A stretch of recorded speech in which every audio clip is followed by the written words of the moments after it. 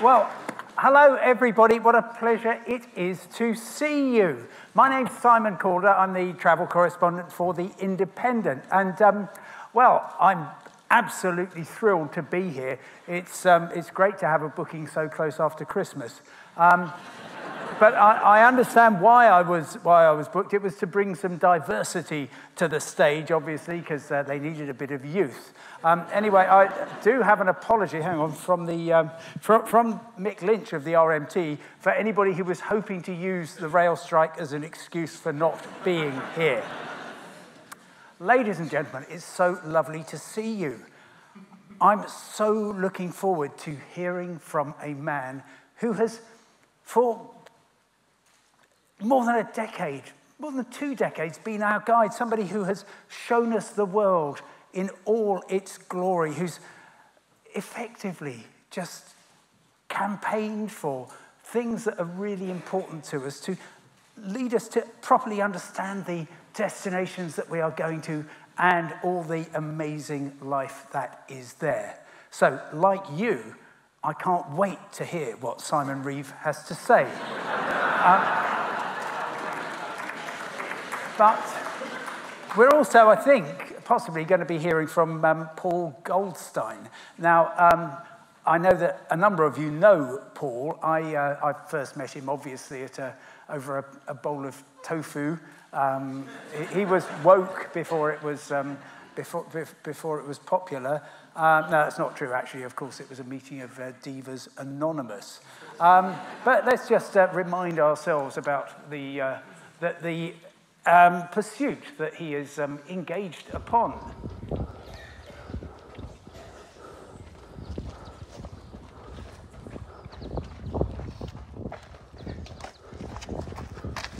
People say downhill's worse than uphill. Bollocks. There we are. I fear there may be some more of that tonight. Um, as uh, those of us who know Paul, well, I did actually uh, first meet him in the 1990s. Yes, we were both alive. We were very young indeed. And since then, I've uh, joined various expeditions uh, to Kicheche in, in Kenya, uh, to Antarctica, and most exciting of all during COVID, to Norfolk. But wherever you are with Paul, you know it's going to be exciting and interesting, and you know that um, he is possibly going to share his view of the world. And that's what we're going to hear tonight. And I want you to welcome uh, the uh, great Simon Reeve, who is going to be talking to Paul tonight. And I can't wait to hear their conversation. Ladies and gentlemen, Simon Reeve, thank you. Good evening, everybody. Thank you very much for coming along. It's very lovely to see so many faces here tonight, particularly when we were going to have as Simon alluded to, one or two travel problems, weren't we? But they've uh, abated. I knew you would make it here one way or the other. Yes, my name is Simon Reeve, and tonight I'm talking to my friend Paul Goldstein. And I have known him now for around, goodness me, about 10 years. Uh, as most of you know, he is a, well, let's say, almost indecently talented, award winning photographer. He writes fluently and quickly, unlike me. He campaigns uh, appropriately aggressively. He's raised now hundreds of thousands of pounds for tiger conservation. He has helped to uh, rebuild and equip schools on the boundaries of an Indian national park that's famous for its tiger population. He co owns four absolutely amazing safari eco camps uh, in the Mara Conservancies in Kenya, which invest in the local community so important and help to protect what I really think is, quite frankly, the Garden of Eden in terms of wildlife. He's a dad to two wonderful lads as well who are here somewhere, and he's run 28 marathons, for goodness sake. He has phenomenal energy.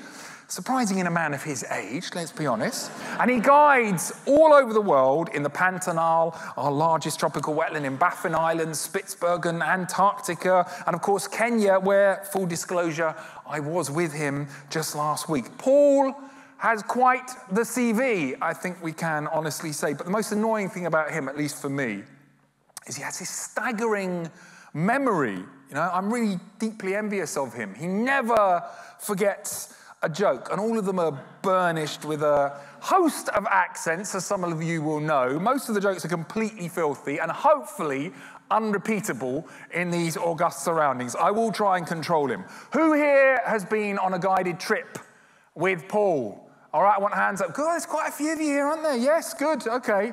Well, you'll know then, he can be completely mad, don't you think? First time we went out with him, he was bloody shouting at us, shoot it, shoot it, shoot it.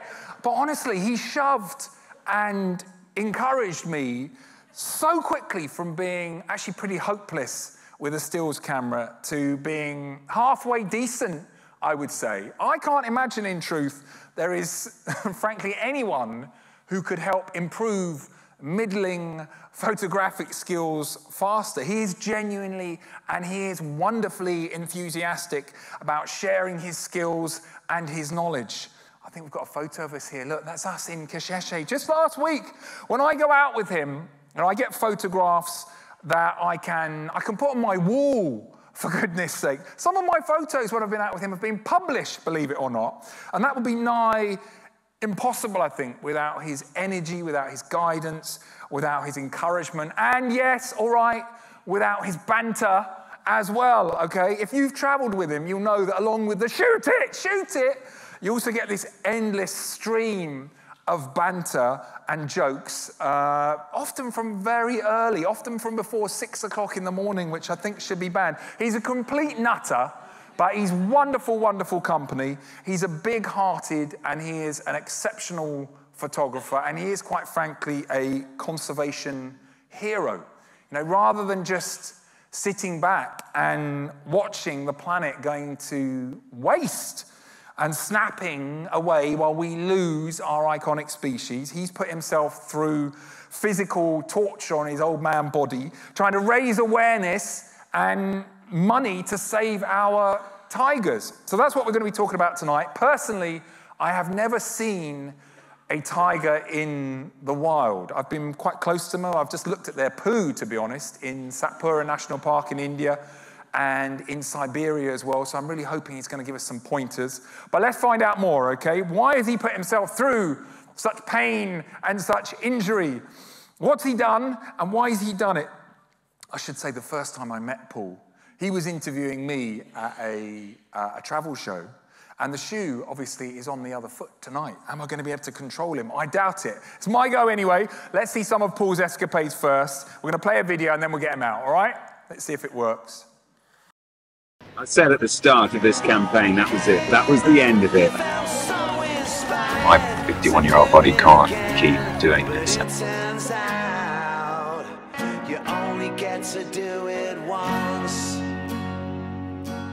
I think it's true what they say that the dream is borrowed. You give it back tomorrow, minus the sorrow. I get disconsolate sometimes. I get impatient, get angry, I get depressed. That gives me this significant rage and, and, and, and drive.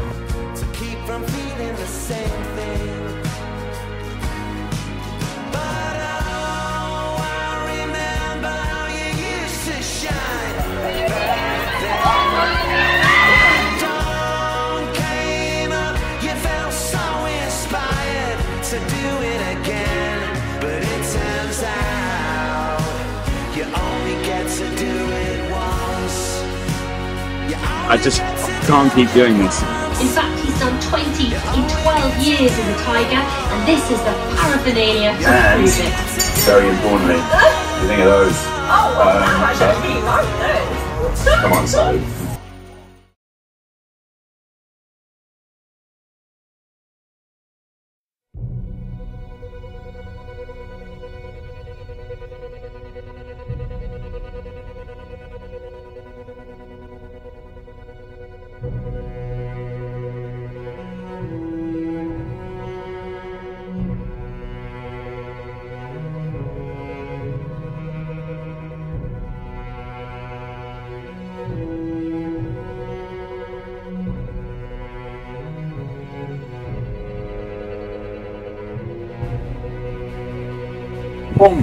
Quite frankly. Absolutely crazy. This ludicrous uh, exercise, I'm going to call it that.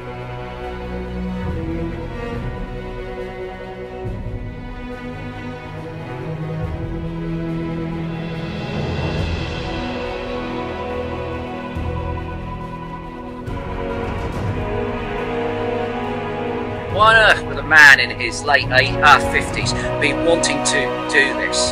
Well, because during the course of his marathon running life, he's raised thousands and thousands of pounds for tiger conservation. These kids, like tigers, are worth a lot more alive. Thank you, thank you. It'll never be perfect, but you have hundreds and hundreds of school children now who are reaping the benefits of not only Beckmore Tigers, but also your generosity.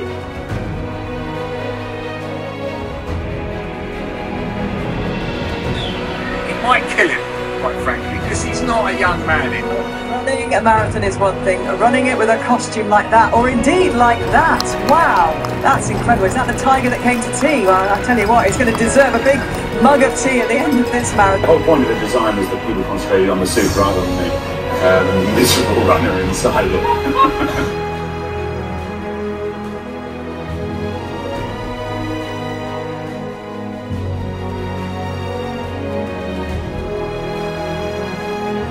mean, the two words, Everest and marathon, should not come together without substantial punctuation. Ah, are we there yet? Is this a foolish escapade, this caper? Yes, I think it probably is. Is this the most challenging thing I've ever done? Yes. Do people look at me with that look, what on earth are you doing at your age? Yes, they do. It's time to run and walk and scramble. I suppose crawl 26.2 miles down from base camp. Die, drink a champion.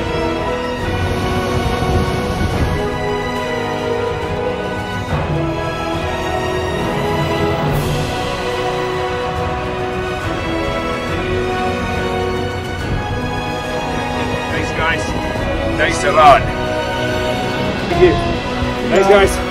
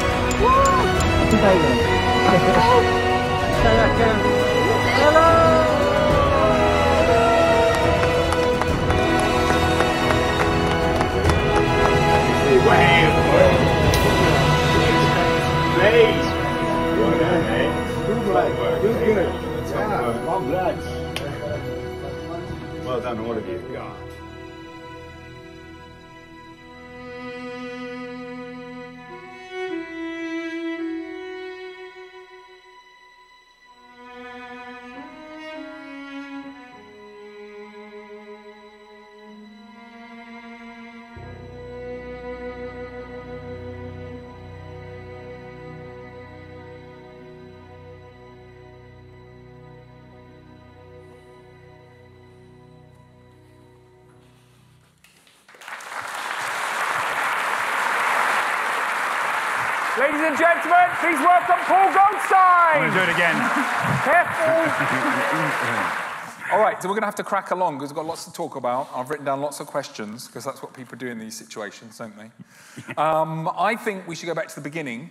All right, I know you want me to ask where have you just come from. All right, I'll ask that. Where have you just come from, I've just Paul? about, I think you've given the game away a bit there. We're- yeah, I've just come from.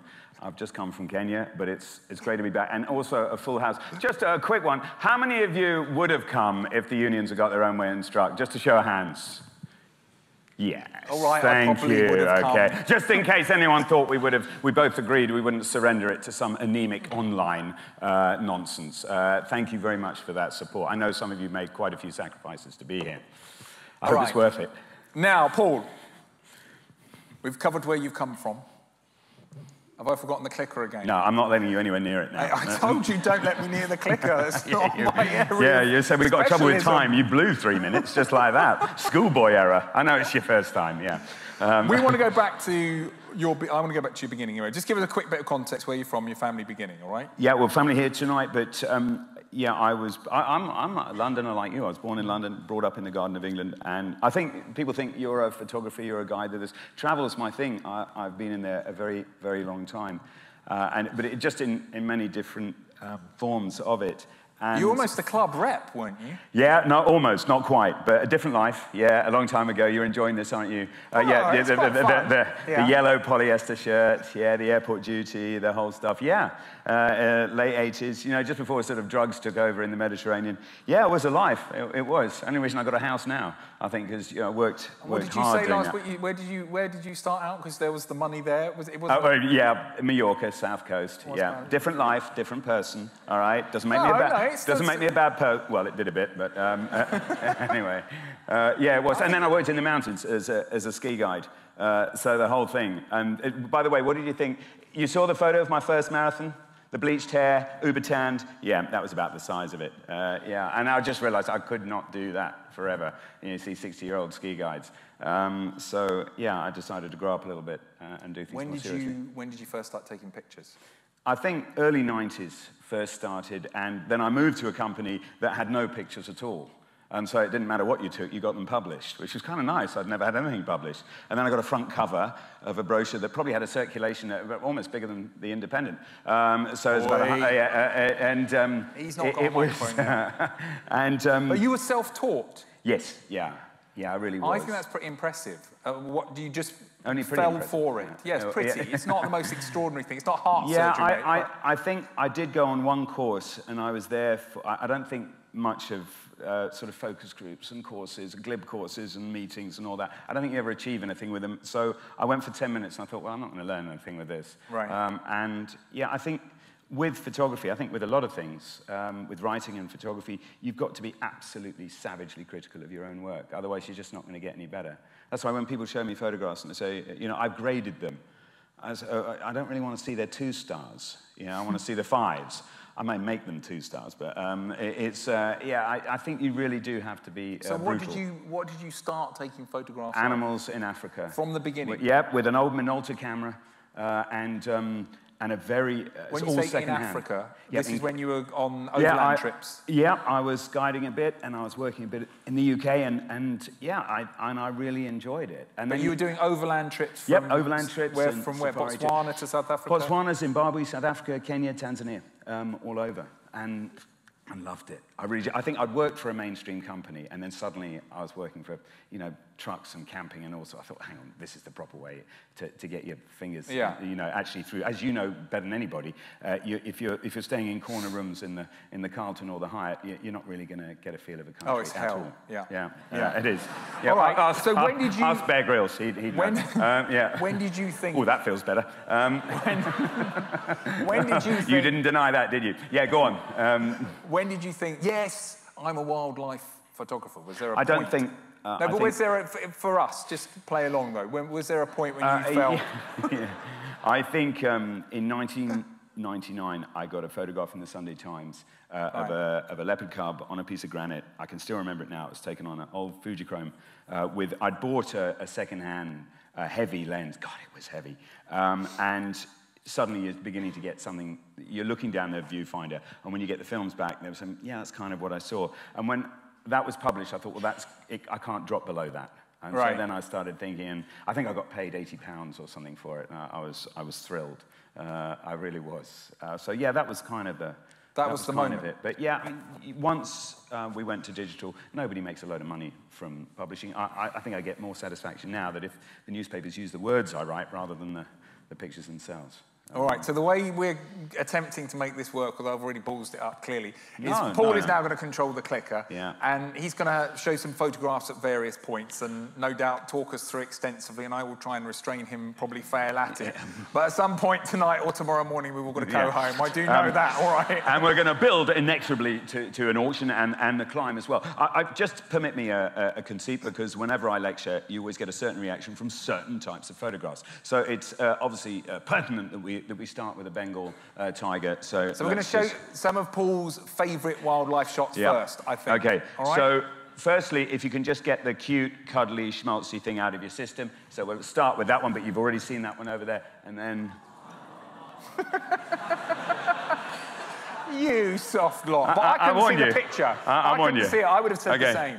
Okay, and Oh, God. Okay, guys, uh, it's quite a serious subject, subject tonight, so if we can get this out of your system, um, uh, that, that, that, that would be better. Oh, my goodness.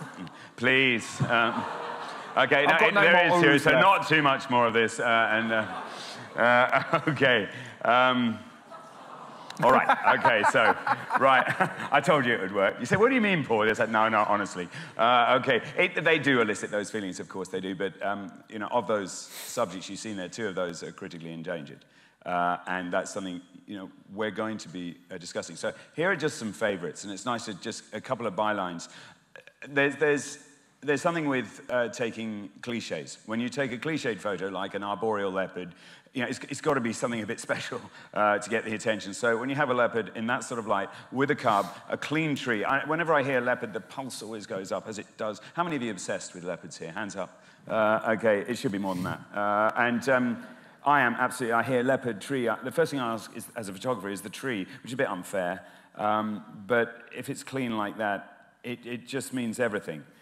This as well, this was something different. It's a, it's a moonscape. Uh, We hired a helicopter to fly over Lake Magadi, and for some reason, uh, near the Tanzanian border, we said, oh, flamingos, plural. And there actually weren't very many uh, at all. Uh, but actually, the, the single one made the photograph rather. I don't like clutter. Uh, sorry to sound like Chris Packham, but I, I don't like clutter uh, in, in photographs. Uh, th- something that, that, that confuses the eye. So the cleanliness uh, of this shot um, works. Almost like a moonscape. That's uh, silt deposits um, on, on the lakeshore. Now, this one, I, I generally don't like the sort of visceral nature um, of, of photography. This was different. These are the five cheetah boys, not anymore. It was an Is that why you've put it in black and white? Um, no, than- because it wasn't far off um, anyway.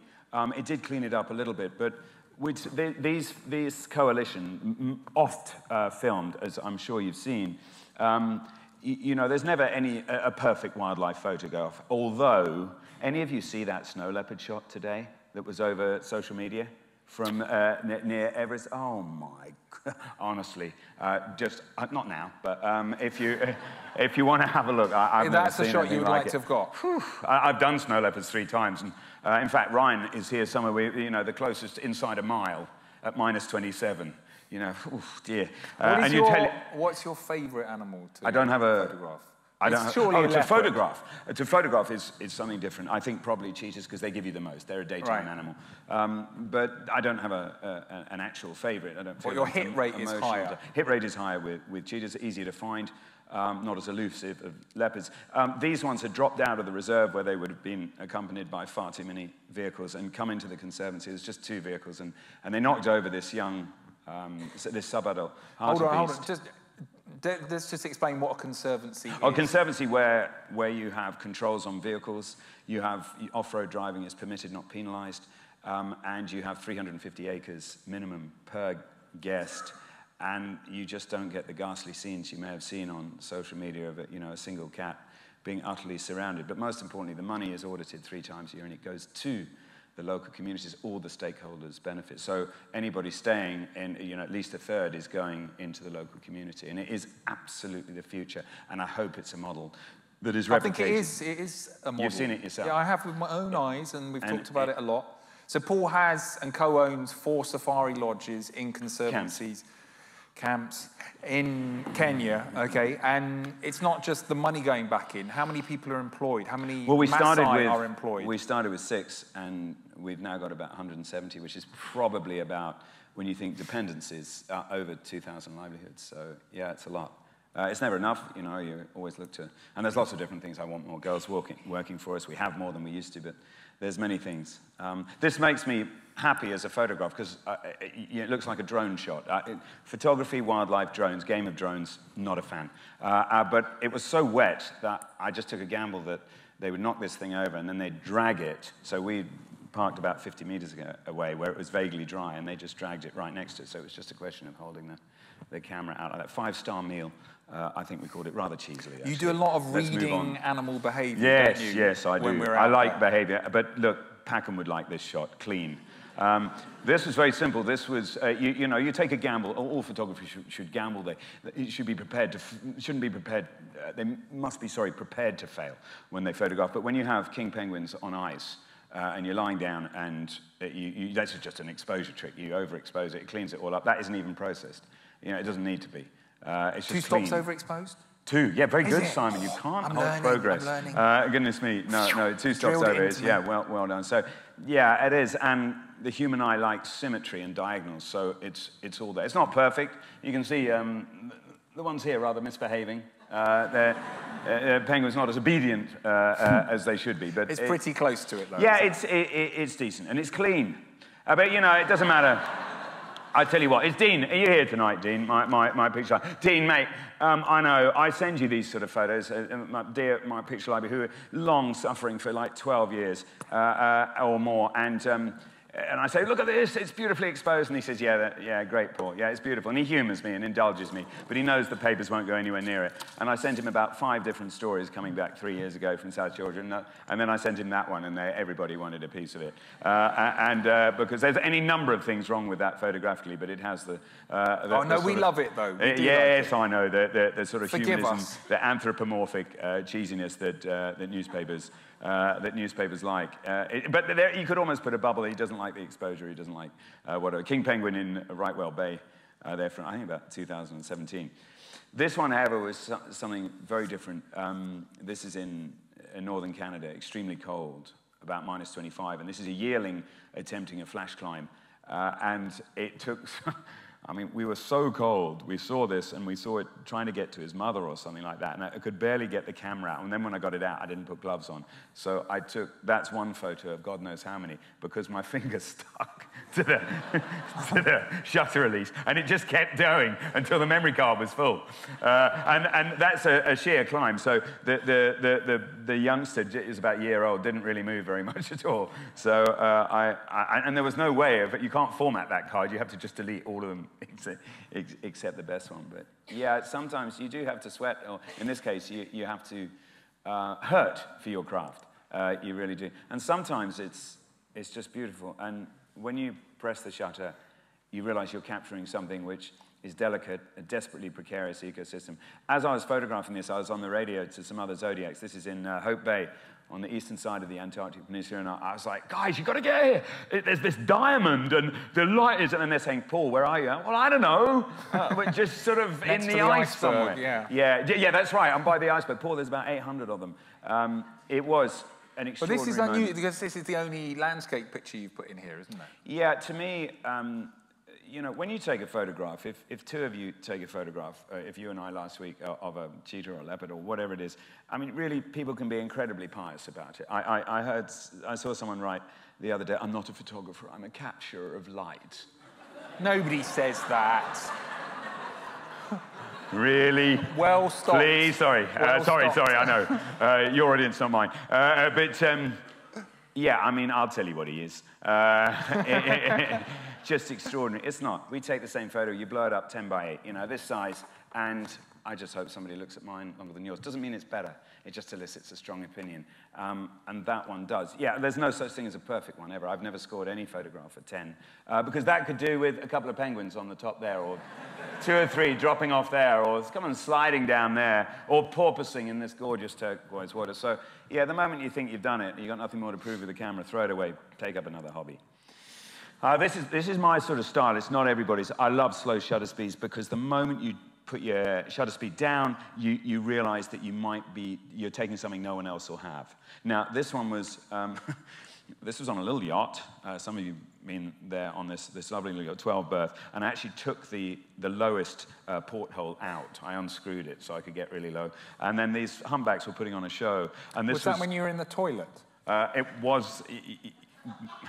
Yeah, I, Not- there's no way out of on it. the toilet, Yeah, not on the but toilet. Yeah, you went that, would be interesting, the toilet. Um, yeah. Okay. So yeah, I was going to say it's a slow pan, but that doesn't work either, does it? Um, um, uh, and um, look what you started. Uh, uh, anyway. It's, it's glacial water, hence the jade color as well. And I just put it on a fifth of a second because I'd taken loads of fast ones. Uh, and it's, again, it's not everyone's cup of tea, but when you do that, you get a gamble. And that one isn't spot on because I could do with the, um, this being a little bit sharper here. The water's great, I like all this, but it doesn't quite work. laser. That one does. Uh, you're looking at the, the, the fastest animal in the world. It was a desperately gloomy day. Uh, JW, I think you sat at the back there. You were right next to me, taking this at about 8,000 ISO, as fast as you possibly could. Uh, and I just thought, no, let's slow it down. And, and yeah, it was a handhold one. The next shot, sadly, was of JW's back. Uh, as the thing sort of cut round behind. But just explain to non-photographers here yeah, what, very you're, simple. what you're doing. You, you, you just try and move your camera exactly the same speed as your quarry.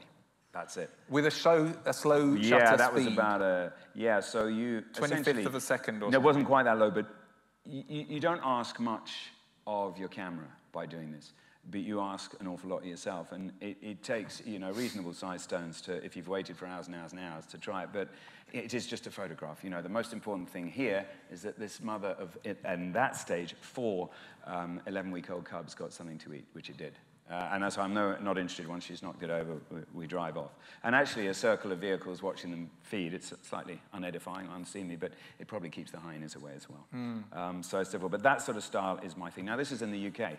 Uh, this is in uh, Snettisham, the RSPB uh, sort of stronghold flagship on the Wash, North Norfolk coast. I spent a lot of time in those hides, particularly during COVID.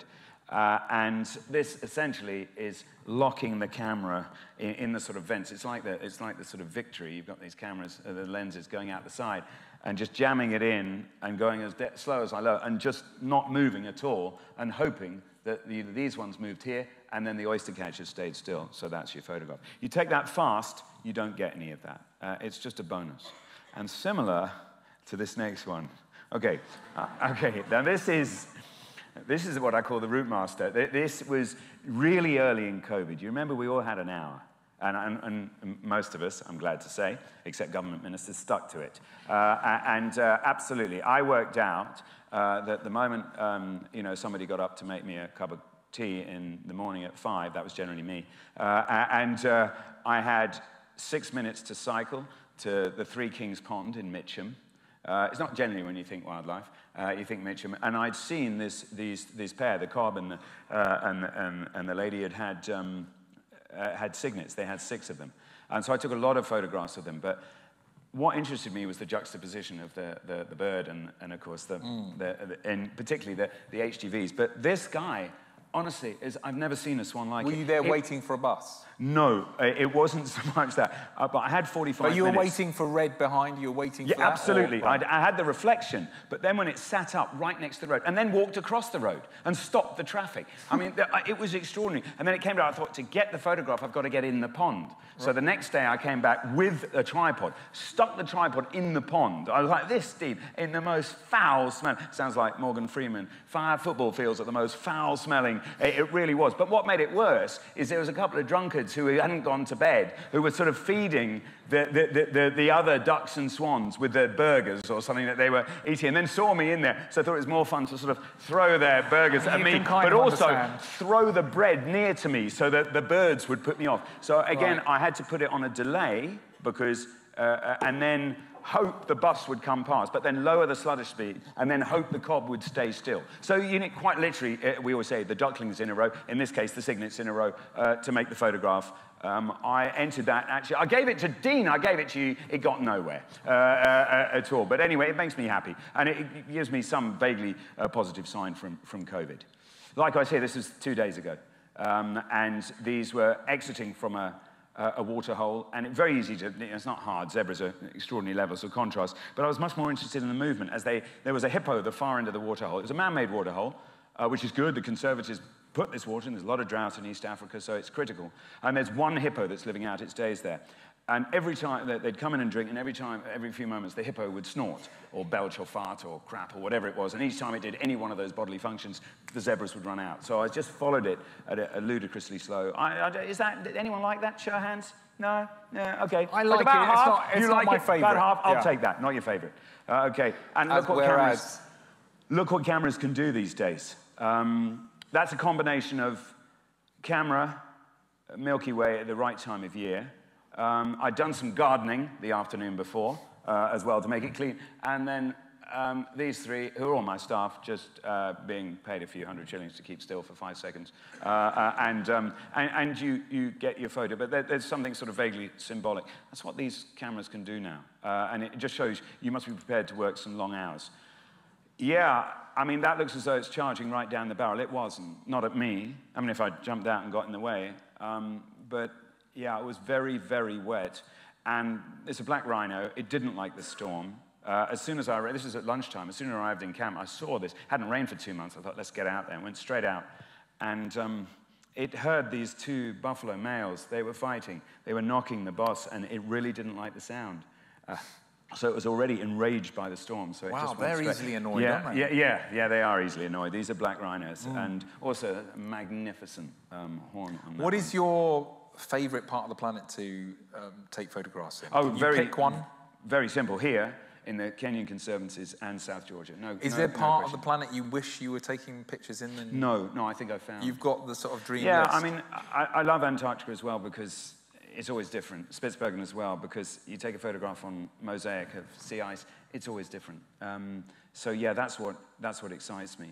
Uh, but yeah, I, I mean, there's lots of areas I love, and often it's species-led, like jaguars or, or Bengal tigers, of course. But yeah, I would say those ones. Um, yeah. Look, South Georgia, apart from the history, which fascinates me, Hmm. uh, it really does. I mean, Everest and South Georgia. If any of you have just, just sort of meandered through the exhibition outside, I mean, uh, it's extraordinary the levels of fortitude of those explorers. But also, there's six million king penguins there. You know, that, that's a decent start, isn't it? Just numerically. So yeah, the, I, th- I think those ones. Yeah, um, that was a different story, wasn't it, Dean? That one did rather well. Um, look, there's sometimes, it's, we've been with those cheetahs seven hours.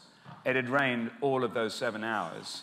It would have been very easy to turn back and go inside, and no, not at all. And for a moment, the mother advanced, stopped, and the two, and I just had time to close. We worked out it was about an eighth of a second they Mm. held for that. Uh, so the rain, and yeah, I know there, there's any, any number of things people have written about this photograph already, and yeah, but all I can see as a photographer is this arbitrary piece of granite here, which really bothers me beyond measure. But you do have this almost supernatural ability to wait until that critical moment and get that bloody shot. It Yeah, is well, yeah, I mean- infuriating when, to be with you. Because the second I stop or move away, that I can guarantee they'll move like that, and then you'll go boom. Yeah, I, I, I think it's, it's practice and it's experience. Uh, and also, I feel like a pig. I'm probably not allowed to say pygmy. I'm not allowed to say anything these days. I'm going to tonight. But, um, uh, and um, the- my guides put me in the position. You've, you've, you've been with Patrick, Mm. you've been with um, any, any number of the Saruni, any number of these absolute magicians. Uh, but it, it does make a difference. Uh, but in this instance, yeah, I, I, I had barely taken a photo in seven hours because it was grimy and it rained on and off. And so I was still primed. The moment, as you say, the moment you take the foot off the gas, I, I'm sure, you, you know, if you, when you're doing a piece to camera and you nail it, you know, they like the West Wing walk and talk, and you've done a minute and a half, and then you mess up at the end because you just switch off for a second, you're quite right. That, that, that's when it happens. Uh, and however much one say, uh, this sort of feeling, oh, I'll fix it later. No, no, no, get it right when you press the shutter. I mean, in a lot, in a lot of these photographs, uh, at the moment you're taking this, you're also not all of them, but many of them, you're guiding people as well, Yeah. aren't you? So you're not just there, Mm. not just I often have the radio here. Uh, I mean, I'm not telling gags, or well, not all of the time, but um, you, you know, you've got to keep people awake. But you Mm. can't always be talking about photography because it's dull. You know, just photography. Then back. I want, I want people to, and the more you understand a subject in any form of photography, I, I always say, when you guide with wildlife, it, it, it, don't, forget the camera for a moment. It, I think it's my job to, to work ridiculous hours, um, 18, 19 hours a day, to, to make sure you make everybody's chances the absolute best. You maximize that time. Because if you're not doing that, you're not delivering. How people then choose to record, whether it, what their precision object they choose, whether it's Swarovski's, Leicas, or a camera, or just their eyes, that's down to them. Mm. You know, it's not just, it is just a photograph. And unless you're prepared to put in that grunt, you know, and then it's a combination of experience, pedigree, field craft, Patience is not a virtue, it's a must. Uh, and then, of course, there's the other stuff, which is, is a bit of luck. But you're not Mm. going to get the luck without all of that. Yeah. And then, of course, pressing the shutter, a little bit of knowledge, your finger fusing with the shutter release is, is that's 5% of it. So it's all of that which then leads towards So it. Hundreds of people every year you're taking away and Hundreds, yeah. guiding. Uh, you ever get bored? No. No. No, I don't. Oh, do I get bored of, of, of, of You can interpret it that way. Um, no, I mean, you know, you know, you can't have favorites uh, in my job. I mean, they never ask foolish questions or anything like that. But do and you, you know, get- they're fair game. on, when they say it, you can't mention it on that trip. The moment they've flown home, they're fair game. Because you always say it was on. Uh, my two current favorites from Africa are that elephant all on his own over there, is he lost? Uh, I, but, and do the wildebeest only cross on a Monday? Uh, uh, I, I, truth, uh, we always say this truth is always stranger than fiction. Uh, let's move on. Sorry, because that's two days ago. Uh, Helen, you're at the back there. I know you are. There you are. Uh, just Helen was in bits. Um, Helen, in 2009, um, arrived on a safari with me, announcing that she'd done nine safaris and she'd never seen a leopard. It's nice when you're put on the spot like that, and they, they don't put pressure on you at all. And that evening, uh, she saw her mother with two cubs, and she was a quivering wreck. And her obsession with lep leopards continued. And two mornings ago, we've had this is named Tito, this one, and with two of her cubs. So yeah, that, that was a good moment. It really was. And look, very, it's quite, yeah, leopards again. But this tree we call the tree of life. Um, it's a beautiful uh, Boscia tree, and for 14 years, I've driven past it. I've seen lions up there and I've seen cheetahs up there on numerous occasions, and I've never seen a leopard up there. Uh, and um, my youngest son, when I arrived in Kenya two and a half weeks ago, he said, I want to go over to, to this camp. And, uh, you know, I wasn't in the, you know, I'd been away, and I said, come on then, jump in the car. Let's just the two of us go. And boom, there it was. And then it got a bit better as well. Uh, mm. It really mm. did. Um, so thank you, Lucas, uh, uh, for that good tip. Uh, it really was. And just lastly on these, um, look, talking of patience, that is 20 minutes before the sun got up. This is four days ago, uh, okay? And that's 20 minutes after the sun went down. Okay, I didn't take anything in between. It doesn't matter. Uh, You're pretty you, insistent on a 5.30 leave, aren't you? Yeah, oh yeah, uh, I'm big on and, timekeeping. And it does matter. It does matter, particularly when it's dry. Uh, if you don't like getting up early, that's fine. Uh, I mean, if you're going to be late for game drive, it's not like I'm going to climb You just in. won't see it. I'm not going to climb into you uh, uh, at all, but you won't. It's not a question you won't see it. You won't see it. It's it's best, mm. particularly with cats. Uh, and likewise, exactly the same thing. This is in the 24 hours of, of daylight in Spitsbergen. That's the fifth excursion that day by Zodiac.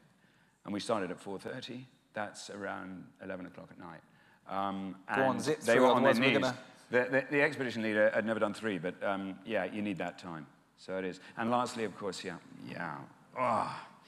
I, I, still smile when I see this because this was the first time I'd said, how long have we waited for this, Pappu? And and he said 20 years. And he was right. This was May 2019, blisteringly hot. You need a lot for that to work. They need to be, have eaten something, but not too much. The water must be not too deep. Uh, and they're both males, so they're the what similar. What do you mean sort of, you'd waited 20 years? What, I've never the, seen. That perfect? I've never seen. Oh, it's not perfect, but uh, it's maybe a seven, six. Uh, but um, I've never seen them like that, uh, uh, pl playing in water like that. All the water's been wrong. You're too far away. They're facing the wrong way. The light's rubbish. Uh, there's distractions. There's clutter. It's not the best background by any means, but yeah, it was, it was desperately exciting. So you're uh, beating yourself up about them, right? Okay. I always do. All right, so yeah. we, we got to start talking about yeah, tigers. Yes, we do. Okay. Let's um, talk. Why tigers? That's my first. That's my first um, Bengal tiger. Sorry, it still hits me between the eyes now. In 1998, I took that in Ranthambore National Park. Um, I arrived, and the guide picked me up, and he asked me if I'd, I'd like to um, go, to the, go to the lodge and what? freshen up. I never really got freshening up. Uh, uh, I got a few regulars here. They're used to this. They're used to this rant. Uh, and um, so I said, no, certainly not. And so we got a route around the buffer zone. I wasn't expecting to see anything. 15 minutes in, we rounded the corner, and he's, he's lying in the, in the road. And, and I was just utterly gobsmacked. I, I, had no, I mean, this is a huge 250 kilograms of male. He does look surprised to see you. A, a, little bit, yeah. I mean, that is a problem. Often when you photograph cats walking towards you, their mouths hang open, they look gormless. Sorry, they're beautiful, but they look gormless. There's no need for it, really. They need to close their mouths when they walk. You've, you've uh, mentioned yeah. that. That yeah. surely does not look like a tiger. That tiger does not look gormless to me. No, that one, it's, the, and the reason it did that, it was fast asleep, and I was, I was, and I barely breathed. And then I remember just scratching my you chin. You woke him up? Yeah, I hadn't shaved for about three or four days, and I just scratched my chin, and, and just that slight abrasive sound, it just looked up, and I took one photograph. I only took three, and then it got up and moved off. And it just had the most profound effect on me. And I was there Why? for a Why? I don't know. I, I, think I'd read so much. I think I'd been before for three days, only saw tracks, you know, right. and delighted to bump into people who keep, kept telling me you should have been here last week. I always like that. Um, breaking the wild, Wilder faunal pledge. Uh, and um, yeah, and the reason is a very simple one, Simon. When you report from around the world the, of the many things, you all watched his last program, haven't you? Yes. Yeah, he's, yeah. He's good, isn't he? Um, uh, I mean it. Uh, and the most important thing is you don't duck the, the, the I suppose, the, the subjects that many would. Um, the reason this really affects me is six months later I was back and I found out that the pelt was on the back of somebody in China, the bones had been used somewhere else, the penis somebody else, somewhere else, the whiskers, the whole thing, and that's what started everything, frankly. So if I hadn't have seen that, if I'd freshened up, who knows, probably Hmm. not, not be here tonight. So, and then it's a, just a, a series of, that's the first photograph of a Bengal tiger I took that I was reasonably happy with because the background's good, it was taken on film. But most importantly, that's the girl uh, in the meadow, the Chakradhara meadow in Bandhavgarh, that the suit was based on. Now, Eliz, are you here tonight? I didn't think she could make it, the extraordinary designer, but not only did I send her that photograph, I took her to India. I wanted her to see one. If, if Ben is here, he okayed it. Uh, and, um, and so she could actually see one in the wild before So she did the Liz is the designer, She designs extraordinary, a genius. She costumes for the Notting Hill Carnival, doesn't Yes, she? that's right. And- Yes, absolutely. And you found her and you said, I want you to make me yeah, a suit. yeah, that's right. And she, I said, I can't afford it. Why don't you come to India? And she said, Yeah, that'll do. Can I bring my sister? And she's, um, she's uh, absolutely lovely. And, and she did it. And she has been extraordinary because I have bought that suit back from marathons, utterly battered. Uh, and bruised, and somehow she's given it an MOT. But, but more importantly, she got why we were doing it, and she's so supportive. Um, uh, she lives in Norfolk, and, and yeah, she's extraordinary. So before, before each marathon, I drive it up there in a van, and she gives it the going over. This is the first time I saw uh, youngster, uh, and we'd heard one warning call miles away. We drove 40 minutes, and then just as the sun was going, the mother comes out with a young, and that, of course, you know, when you see youngsters uh, like the uh, like the shot over here, up for auction later, uh, uh, it um, As is the painting. That, that, that, you- as is. Oh, We should talk. yes, we should yeah, we're going to. Um, yeah, so that leaves an effect. This one How, I like. can, can you go back to the one before? How close are you? Oh, uh, that's them in about. this- in this uh, no, no, that's not that far. That's probably about 60 meters. 60 Uh, yeah, metres yeah, still. Yeah, yeah. that's still quite a distance. Uh, We, uh, Richie, are you here? Richie from Lenses for Yeah, he's yes. in the corner. Hello, Richie from Lenses for Hire. Very good place to get your camera kit, I have to say. Nice plug, Richard. Yeah, Yeah. yeah. And uh, I was with Richie last week, and he had a dropping off cameras back to him and equipment. And you had, was it a 700 millimeter lens that you had there? 800 millimeter lens, and it was like a, a sort of RPG. Yeah, me. missile. Yeah, Yeah. it was an astonishing size and weight. And you just said so quickly and fluently, oh yeah, that's what you take if you want to get close to kingfishers and tigers. Two animals that you either can't get close up to or it's really not entirely Hmm. safe to. You can't be in close proximity Yeah. with tigers, can you? Really? Yeah, you can. You've got Um, a distance a- to them. Absolutely, you can. Unfortunately, the, the way it is in Indian national parks, you can't drive off road like you can in a conservancy. So often the water holes are a good distance away. So um, it's absolutely uh, correct. My point now is most predators now realize that, that people in vehicles, providing they're behaving, uh, Mm. are the last thing. They've got many more important things to worry about, like putting food on the table. So if a, if a tiger walks alongside the vehicle, well, I'll use my phone or something just to film it or just enjoy watching it. There's probably not a photograph to be had. Something like that, you need uh, a slightly more grown-up uh, But often on a, a photographic safari, you're further from a tiger, aren't you, really, generally, on average, than you would yes, be just, from I a think big cat in, in just down to the nature of not being able to drive off-road. Uh, Right. I think that, that, that is going to But you still have obviously formed quite the deep bond and emotional connection with them. And I just Yeah. would still love to know what you think that might be as a result of. Because other Yeah. animals are poached and eaten and, I think and perhaps traded. Stories, reading Kipling, having Kipling read to me as a, a child. I don't know. Um, I think it's the anger and rage. Uh, definitely, I feel it more. Is it the that. animal? Because it is Uh, I don't- an don't have a- astonishingly majestic It- yes, it is. Uh, the first time one of these looks straight through you like that, it, it does have an almost uh, a, a visceral feel uh, to it. But um, I think it's the anger. Uh, when, you know, as we'll move on in just a second, you'll see some photos which which are going to horrify you, and and the thought that this goes on and still goes on Mm. just enrages me because this is the dream. You know, you know, that- look how close that is. That tiger, that tigress doesn't look remotely bothered. Um, that is me there. I'm not photographing. I'm just looking. And yeah, what a peaceful photograph that is. Hmm. And that very much says it's well constructed photograph. And do you well. remember where this is? Uh, this Which is park? Bandhavgarh, yeah, A route uh, in Bandhavgarh. I remember it well, 2011 uh, in March. Um, yeah, I don't forget moments like that. I was very pleased because I've taken a lot of photos like that, but it's not 15 vehicles, it's just one. It's, it's just a good moment. There's my dear friend Pappu uh, in the driver's seat. So that's the dream. Um, and that was just one that, that was lying very close to the road. But we had the engine off. We, we drifted down with the engine off, just opened its eyes lazily like that, underexposed, three stops. Uh, and um, yeah, it was, it was simple. Uh, it, it really was. So those are the sort of ones.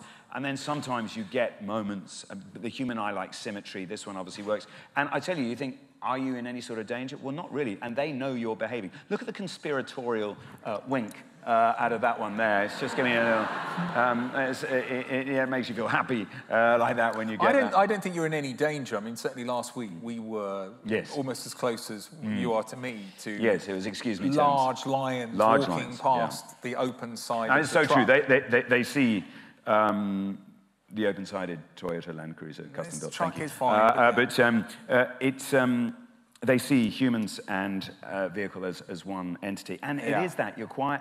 They really don't, you know, they don't even glare at you. Well, if you're using a Nikon, they might. But um, uh, it's, um, you, you get none taken. Uh, but um, yeah, that's, a, that's the sort of way you sometimes feel. And, and this was, I like this because it was the after, they, they closed the parks in India in the afternoon uh, and on a Wednesday. I don't know why. I mean, it's, um, it's, it's conservation terrorism, which I loathe. Uh, somebody once said, oh no, we should do it to give the animals a rest. You know, tourists, they, you need that, those dollars from tourists to, for animals to thrive and survive. Uh, and so, but there's one place you can go in a buffer zone. There's not much chance of seeing anything, but there really was. So I was very satisfied. That was last May. So uh, it was great. And, and I just remember that day, uh, we'd arrived, and it was the morning after I had to get them, because I was, it was only two weeks before the marathon, and I had to get them to turn on the lights, because it's 42 degrees when that was taken, um, turn on the lights in the lodge so I could go training at three in the morning and run round and round and round for an hour and a half, then have a shower and drink lots. Freshen I think up. 14, freshen up. Uh, uh, uh, and uh, 14, uh, I think 14 litres I drank that day, mostly mango lassis. And then we got that in the afternoon, so it was a joy. First time I've seen him. Trevor, Dawn, you're in my vehicle, sat right in front of me there. Um, we, were, we were literally having kittens ourselves. It was, uh, and, and yeah, th- this trip had, had we we you know, they'd all paid extra to, to have the, um, uh, the, this permit you can get to. You, you can't do it in Ranthambore, you can still do it here, where you get an all zone pass and you can go in 15 minutes earlier. This huge concession you pay a lot for. Well, this was the 15 minutes earlier. And for about 10 minutes, we had a mother and four of those. And do you know what? And, it makes you think, yeah, do you know what? This can work. They're never going to roam, uh, romantic notions of, of animals roaming over What do you mean this is what's going to work? Well, that all the money you This raise, if it's properly model. spent, that if you're seeing a, a, a mother raise litters like this, you think, yeah, you know, this really works. Uh, it just does. And you think maybe as more and people are invested into the national park, but you um, mean tourism providing habitat it's almost? critical. Uh, and someone once put it very simply to me if you have a family outside a national park, they see tourists go in in sleek four-wheel drives. They think, well, I'm not benefiting. You know, my mother's sick. My father can't get a job. You know, the Mm. father now can get a job as a ranger, and there's money coming in to buy a mobile ambulance, which is what we've raised money for in the past. And you think, yeah, this, this can actually work. So, yeah, it's a big You know, thing. when, when we were in the Mara Trust gift shop last week, there was a there's a poster, there's a dusty shop run by the Maasai uh, just near Paul's camp. Uh, and there's a poster up on the wall, and it's a picture of an elephant and in Swahili underneath, and it says in English as well, it says employment dot dot dot because of the wildlife.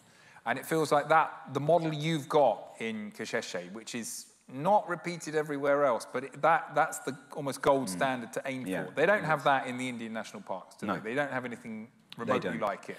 No, no, there's, there's, there's plenty wrong. Uh, you're not given a choice. They don't have control over anything there, and they need to address that. Um, Mm. They absolutely do. Uh, if people are feeling sufficient benefit, of sufficient financial warmth of their striped neighbours, they're going to look after them. It's very simple. If schools are being built, you know, I list all the things we've done. there. We'll go through it. Yeah, yeah, we'll get yeah, to yeah. that, But, uh, it makes such a difference. It does. Uh, that's why you need um, six, seven hundred millimeters of lens, because that's a long way. Uh, and that male just, yeah, we've been to that waterhole. A What's few a long times. way? That's probably 100 meters away. Yeah, so to, to close it, that's still cropped. But to That's a hell of a like that- camera as well, Yeah, yeah, it was, uh, it was, and it was a very, very um, warm day that day. But it, yeah, it was a, it was a good day. It really was. So yeah, I, I, I feel happy. Thank you for those. I, I feel happy about those. I don't feel so happy talking about the next ones. No animal should, e- no tiger should ever look like that. Okay, that's a Siberian tiger. It's kind of difficult to, um, to determine that. That has been What so. do you suspect has happened? Oh, that's inbreeding, uh, in captivity. Look at the arch in its back. Mm. It shouldn't look like that at all. I mean, looks everything's physically mutilated, really. Everything is wrong about that photograph. The, the tracks, uh, the, the, the, the, the body posture, um, and uh, the fact that it's a Siberian tiger that should be living in the wild. It's not. It's living in a, let's call it a holding facility in China. Um, these are, it's not, it's illegal to kill tigers for profit in China. It's not illegal to let them die. I, I don't know how you even put a cigarette paper between those two specifications. It's nonsense. Uh, it just is. Uh, and that is the sort of freak show you get. You can pay an extra $2 to go to one of these and throw in a turkey or a chicken, and they'll hunt in a pride. Where are these pictures from? From China. Yeah, but who's taken these? Uh, a you, client is of mine Client, who right. went out there specifically taken. She took some for me. And yeah, it's just desperate. Uh, and it's wrong. It's patently wrong, and this is worse. Uh, so there are your tourists who are paying for a cow to be put in the enclosure and for tigers so they can take their kill shot. Let's be clear abundantly. This is where the problem is. Any of you saw that documentary four years ago, I think Aldo Kane's documentary on, on tigers, and he saw frozen tiger cub carcasses in Thailand en route to China to be sold in the wet markets of Wuhan, markets that were open just six weeks after COVID started, whether it's pangolin scale, bear bile, tiger bone. Um, yeah, it's, it's just so utterly wrong, and they are poached for these reasons. And it's simple arithmetic. Uh, it really is. We don't want to see our tigers living in holding facilities like this. But I- most of us, Paul, most of us who see these photos, I mean, we're, we're outraged, we're upset, but we don't actually, in truth, do much about it. I think you've said people who go and take a picture of an animal and imagine that somehow saves it are just thinking and talking bollocks. Why, why, how have these motivated you to become so angry? Well, what, what is well- it? I well, mean, it's something about that. you. You've got a lot of anger maybe in you. Yes, a lot. Uh, and, and I'm, uh, you know, there's anger every morning. I wake up fueled by it. Um, but um, uh, it, it- you know, there are many subjects. Uh, and anger always has to be tempered. It has to be challenged. Um, and challenge if it involves... And it can be a good thing. I, I- of course it can be. Uh, I think we can involves- do with a little bit more anger. yeah, no, I couldn't agree more. You know, but people often ask, what should you do? Well, you start always by writing to your MP. When uh, most of Africa was closed down during the latter months of COVID, an absolute nonsense, while all of the Rift Valley Africans, people were utterly mystified why an illness that was barely affecting them at all was bankrupting them. I wrote to my MP a lot, 433 times actually. He didn't reply. He didn't reply to all of them. I invited him here tonight. I don't think he's here. uh, uh, Strangely. uh, at all. But you know, it, it did make a difference, uh, and you should. But, you know, every time you think, oh, shall look, yes, I've had death threats for, for, for stuff I've done many years ago in the, in the past. Uh, and, you know, would I do things differently now? I don't know. Um, I just don't, because unless you channel it, but unless you do raise your head above the parapet, we're going to lose these animals. We're going to lose them. Uh, let's be abundantly clear. Elephants we're going to lose, rhinos we're going to lose, and tigers will only live in a few uh, national parks. So yes, you, you do have to, to do that. And, and by the way, if anybody thinks that you know, what I'm doing is, is you, you know, you, you, I always use the term heroes. Every time you feel really disconsolate, every time you feel utterly desolate about things, I think of the heroes. Now, a lot of those are in anti-poaching patrols uh, all over the wilderness. They're, they are utter heroes, often very much undergunned and undermanned uh, against extraordinary advanced poaching techniques now used. But it's not just that. Let's take it broader from wildlife. You want heroes?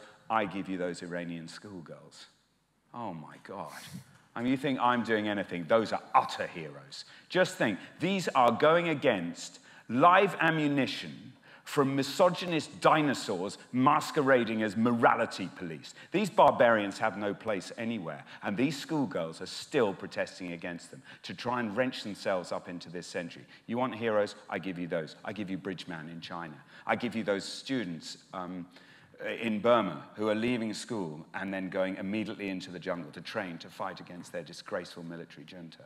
You know, there are heroes everywhere, and when you associate with them, you know, your anger can be channeled. Uh, it really can. How bad is the situation for uh, our endangered animals? You're, you're out there seeing them fighting for them, campaigning for them. Yeah, when Can you, see that, that's tiger it? wine, by the way. It, it is. It's, it is bad. Uh, the statistics I hear, for example, in South Africa, there won't be The Cambodian tiger has just gone extinct. gone. I Three think. subspecies of tigers have gone in the last 20 years.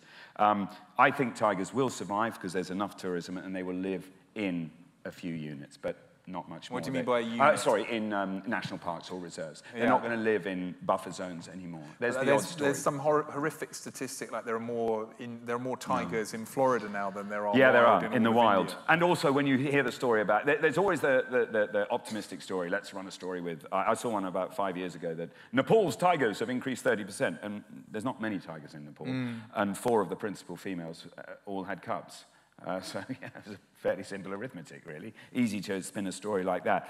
Uh, also, the censuses, I'm very dubious of because I've seen them at work. You know, oh look at those tracks. You know, there's one. Oh, there's some more tracks. So that might be the same animal. but, you know, Mm. they massively overcounted in several Indian parks. Yes, they did, time, and no one's they? allowed to talk about it. And, and it is very difficult. And, and um, look, my, my dear friend um, Mohan Tiku, who none of this would have happened without him, he is the guy who managed to shift money, uh, a local operator that par excellence, one I've never worked with better. And I know Arvind, his son's um, here tonight. And we always fight about this, but he also realizes there's only so much you can do as an individual in Mm. India. You can almost do more from abroad. But w- will we have rhinos still in Africa? Uh, still in South Africa? No. No, they'll be gone, uh, I'm afraid. Um, that is worth, powdered is worth more than cocaine, worth more than Class A. Uh, and so that rhino is intrinsically, this is an Ol Pejeta in, in Laikipia, and this is a success story for rhino. Uh, but, mm, yeah, they are so valuable. Dehorning hasn't worked. There's many different ways. Um, in the same ways of, as, as elephants as well. Simon, you'll recognize that photograph. Uh, you were there, and you were, you know, for half an hour, neither of us said a word. And this is a two-day-old elephant. And um, yeah, I know. It- yeah, you should. Uh, it- it's a wonderful thing, and it got more and more exhausted, and eventually just collapsed, didn't it? It was like Bambi on Flopped, ice. It, yeah. it flopped, didn't it? Like Bambi on ice. And and when you see elephants in the wild in conservancies, and you see this, you think, yes, you know, there's there's there's actual, you know, this can actually work. Uh, it really can. And uh, this was our first. This isn't mine. This is Simon's photo. This is Simon's photo. Um, yeah. Sorry. I, I, hang on. I. Uh, Sorry, I felt I had to. I, I felt. Well, they were clapping. Yeah, I felt I had to beg them? a bit there. Uh, but um, no, no, no, no, it is beautiful. But um, excuse me? What has this uh, young thing ever done to you, Simon, that you cut off its trunk? I don't you believe lo- I No, did, no, no. Paul. You lose five points before you even start. It is. It's, it's a great shot. Nice, clean background. Not straight, but uh, nice, uh, uh, uh, I clean I background. A little out of focus, this one here. But no, but apart from that, uh, no, Can it I is- speak, Paul? Yes, yeah, go on. Go on. Sorry, I was going to say, I think with this, I remember I did go for a quantity providing quality approach. I was like, click, click, click, click, Yeah. click. I took about 150 photos, I must admit. But it worked. That's the No, beauty of it's a- digital, isn't it? It is a beauty. Uh, this I want, to talk, we want to, I want to talk about tigers, right? And, and back to the point where you suddenly felt or thought, I can't do I can't just keep taking pictures of them. I've got to fight and campaign for them. Was there, was there a moment? Tell us about the genesis of yeah, Worth More I, Alive. I- I don't think it's quite an epiphany, but taking that one photo in the dark, it was like, I finally have the, the signature photograph. Uh, and then I just thought, no, um, it's not enough. I have heard so many times, oh, but the photos are doing, they put them on Instagram or, or wherever they put them on their websites, and they think that's enough. Photographers think that enough, or these so-called photographic guides, oh, and take this, and they take a few people, ever diminishing returns. And, you know, unless you've got skin in it, I feel disingenuous. I this probably sounds pious, but I, I just do. Um, just photographing, posting it, and people say, oh, this is a wonderful photo. No, it's nothing like enough. Uh, it wasn't enough in Kenya. It wasn't enough with projects we've done in Kenya for FGM, for, for, for, for um, water uh, projects, all sorts of stuff like that. And it certainly wasn't enough with tigers, um, anything like. And that's why I, I think, and, and I might add, um, when I first had this idea, uh, well, I went into this school and, and I said, how many school children are here expecting 60 or 70? And they told me 500. I thought, wow, that, this is ridiculous. Uh, and that's where it started. And I thought, look, and I walked around the ground, uh, uh, the grounds, and I thought, this is about big enough for a cricket game. Uh, and so eight months later, Simon, uh, my esteemed uh, friend there, came, came out with us. Uh, and a magnificent innings, Simon, uh, uh, not out uh, at, at, at the crease. We won the first I think the only time we won. Uh, and, um, and so we had a cricket game, and I added some money on to everybody who came. And so that started the whole foundation thing. And then and then it really took off from there. And then I think the main reason. So the foundation started- became came before the suit. Oh, well before the suit, 2006, Simon. I remember it. Uh, I think it doubled your circulation that day. They were uh, well into triple figures uh, uh, that day. Uh, and um, no, what then happened uh, is I ran the marathon in I can't remember 2000 and something, uh, and I was pretty, I trained hard and I was pretty pleased with myself. And I remember coming in and knowing that they're photographing, they send you the photo, and giving it the big as I came in, really, that you know, Look at uh, me, all of that. yeah. And then the photo came in, and about this far behind me was someone dressed as Big Ben uh, with this. Uh, and, and obviously, I didn't buy the photograph, and I remember thinking, no, I, I, I felt utterly disenfranchised by this. Uh, and, um, and so that, I think, planted the seed. Right. And then I just thought, well, I'm never going to win the marathon. Uh, this is silly now. And if I want to raise a significant amount of money, I've got to do it. And so the first time I ran the marathon, yeah, it was, it was, very, it was very different. Uh, it, it really wasn't. I thought uh, it might just be the only time I did it. But hang on, you didn't just wear a basic. You didn't just. Um, can we have a round of applause for a man wearing that? Come on.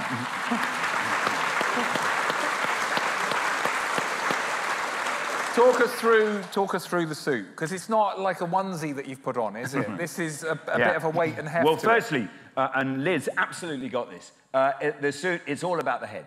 Uh, it really is not, the, as I said earlier, the miserable person inside it. Uh, I'm hurting there, uh, but that's in Docklands in 2010 on the, on the first marathon I did. I got to be honest, the night before, uh, I, I said to, to, to, to my wife, I said, I don't know if I'm going to finish this. I haven't done a marathon for a few years. And, you know, she's, imagine Donna said, I yeah, don't know yeah, if you're she's gonna from, from, from Manchester. She should talk, stop talking so soft uh, uh, and, and get on with it. Uh, but the main thing is, is at the end of it, I realized that I hadn't really left that much out on the course. Uh, I was like, no, well, we, we can't stop But here. how, look, I still don't understand why not just wear a tiger outfit. How much does No. this weigh?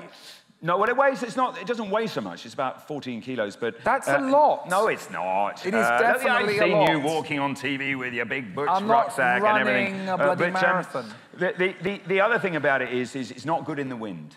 Uh, it really isn't.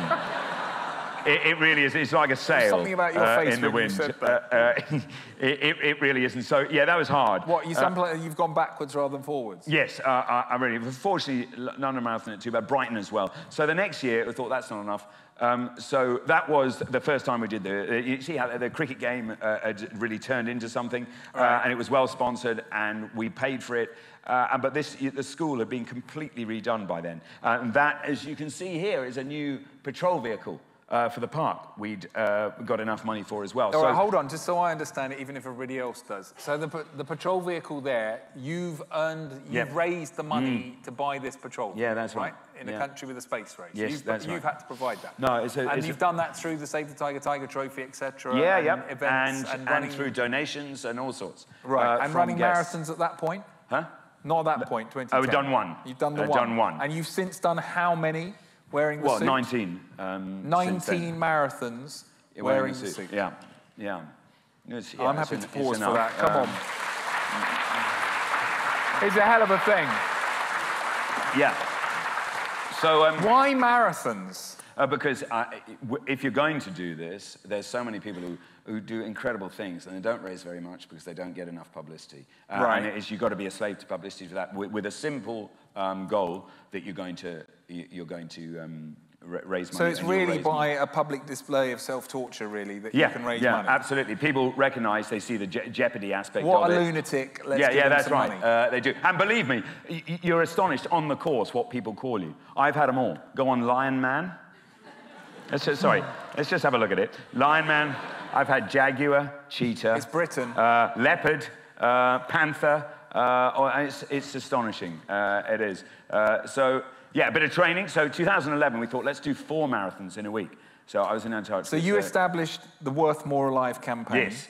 Just give us a little bit quickly as we are, I don't know where the hell Yeah, the yeah, time's gone. Okay, uh, the- the give us the thing- facts behind that, right? How much the tiger is worth in... Yeah, and very simply, if you poach a Bengal tiger on the slab, all of the body parts are used, um, uh, you know, parceled off piecemeal to Vietnam, China, last uh, uh, or Cambodia, it could be worth thirty, thirty-five thousand dollars.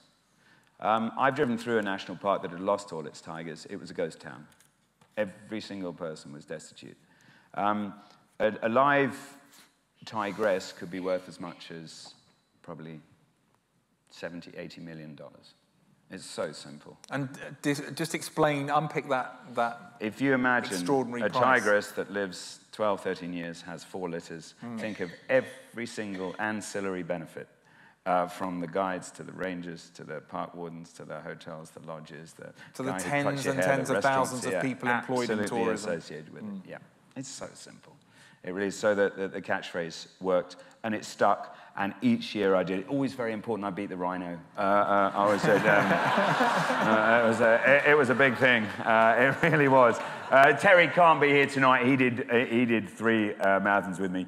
Absolutely superb. He was With a We very did- heavy tiger We did four. Uh, yeah, we, we did four. He looks happy, doesn't he? Uh, um, Happier we- than you, mate. yeah, uh, yes, I was hurting a bit there. And then exactly 10 years ago, I was here, you reckon that hallowed hall uh, of this, with Chris Haslam, a very big supporter from the Sunday Times, uh, with the suit, uh, and uh, we're talking through it. That was Brighton. We thought the following year, you can't keep asking people for money if you're doing the same thing. So we thought, we'll do Brighton Marathon, because it's a week apart, and then we'll fly to Kenya, and then drive to Tanzania, and we'll climb Kilimanjaro, and Is then the fly royal back. Huh? Is this the royal we? This is you Yeah, well, no, people this. came with me. Uh, right. well, yeah, they didn't all do the same thing. And, um, And not wearing uh, And then that's see on Kenya Airways, who are absolutely delightful, just getting a hand towel. Uh, they, at first, uh, only time I've ever been upgraded. We were both upgraded, uh, which was nice, face, uh, face mask. So that was great. And then, yeah, there we are. So we drove down. Tanzania was clear, and it looked all fine and dandy. Unfortunately, at that time of year is wet season, except it's not wet season on the top of the mountain.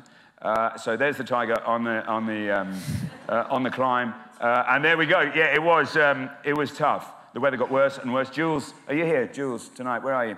Uh, somewhere uh, in here. I know she is. Uh, where, where are you? Jules, yeah, that, that is you, I think. You're not smiling, uh, nor was I, uh, as, as that's pretty close uh, to the top. And there, yeah, well, wonderful. We made it to, to there. And then we moved on and had to, oh dear.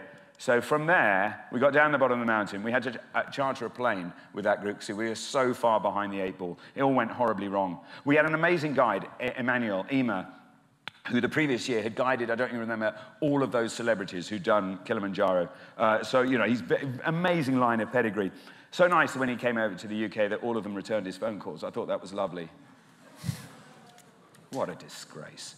Uh, not one of them would have made it to the top. Absolute divas, the lot of them. Uh, and um, so we got back, and then unfortunately we were very late. This guy here had pretty much lost control of all of his faculties by the time we got to the bottom, uh, and it was pretty hard. And the worst thing about it was flying back, I realized I had a sunburnt to hell. I had to um, do a marathon the next day. And I remember getting up in the morning, I was an absolute zombie and uh, turned on the radio and said, anyway, the weather forecast for marathon runners. Very good, particularly for the quicker runners. That's not what you want to hear. Uh, so by the time I came home here, the rain had been coming like this along the embankment, uh, and um, there was about 28 people there.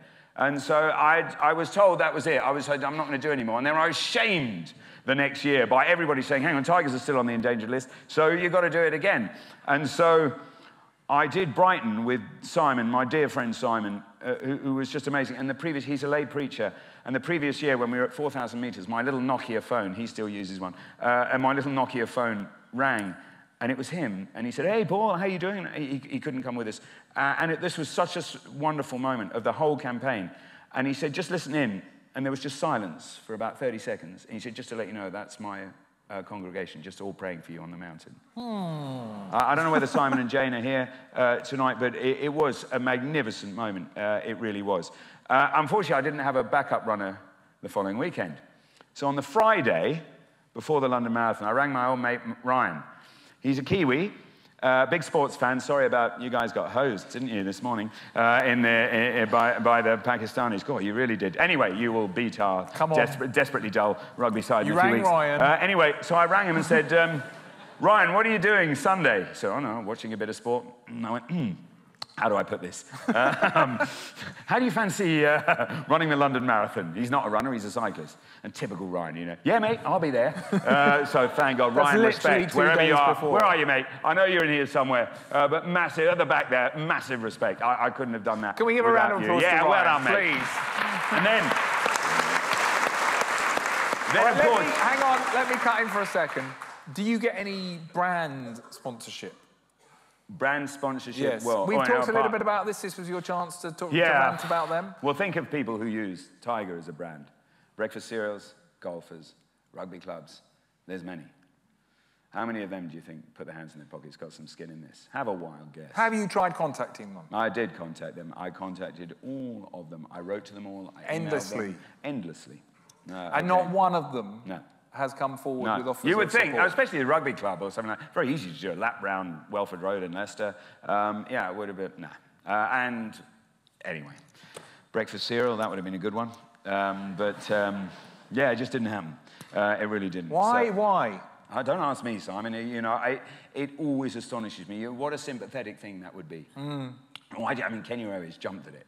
And they said, we don't have tigers in Kenya, but I know this is going to be a good story. It was a good story. Uh, it was well, you know, it got in a lot of papers, so, so, so that was great. Uh, it was. So, um, yeah, and then the next year we had to get the suit to India, its natural place. And Barry, who is Oh, this is uh, my favourite photo. front, Huh? This is my favourite. Yeah, I mean, Barry is sat there in front It's of a me. Barry who, who took this. Yeah, he took that. It just absolutely everything. Uh, Mm. and we had Chris from the Sunday Times was with us. When we arrived, we went the other side. We drove uh, from uh, Delhi. We got to Agra. We got the other side of the Taj, and suddenly.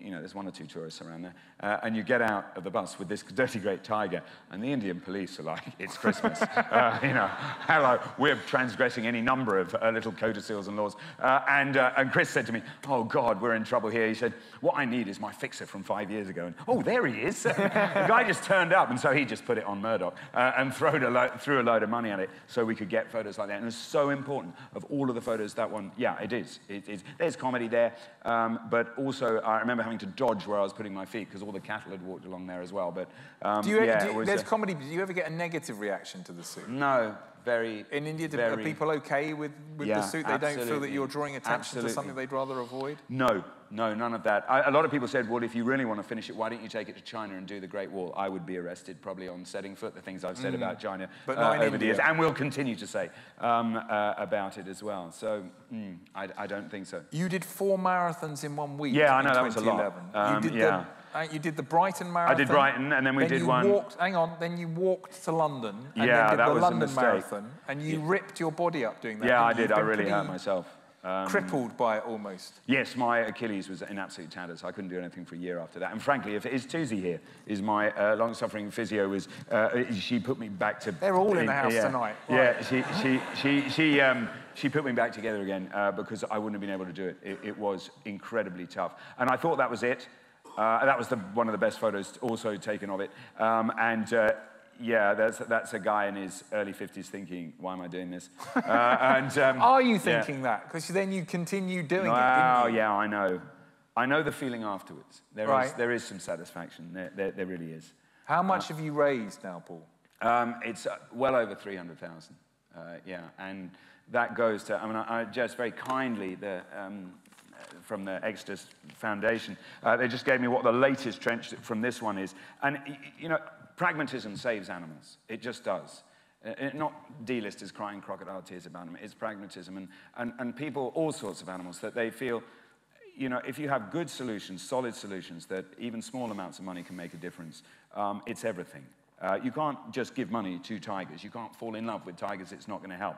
But the biggest problem, of course, with tigers, with almost all animals, it's encroachment and animal human conflict. Mm. And so the latest project is about cattle sheds. It's about gas ovens to stop deforestation, to keep the cattle out of those areas. Because, uh, you know, to give you an idea, one year I wanted a compensation claim, and we went all the way down.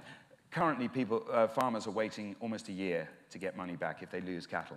We had it down to about that far. Arvind, your father, helped enormously on this, that people would get it inside 10 days if we had proof. Just a photograph. Which damage- makes it much less likely that they'll then start poisoning the tigers because they're taking their cattle. Exactly. Right, And yeah. this is what I got in such deep water in Kenya about. And, you know, I mean, lost my trading licenses and, and had various threats. But um, Why? Well, because I told the truth about lions being poisoned. There was some program on What, about it a talking about ago. it Yeah, absolutely, and writing about it. Right. Just telling the truth, that's all. But, you know, unless you're like you do when you pre- present, you use the truth. I've seen it written, you use the truth like a rapier, and you have to.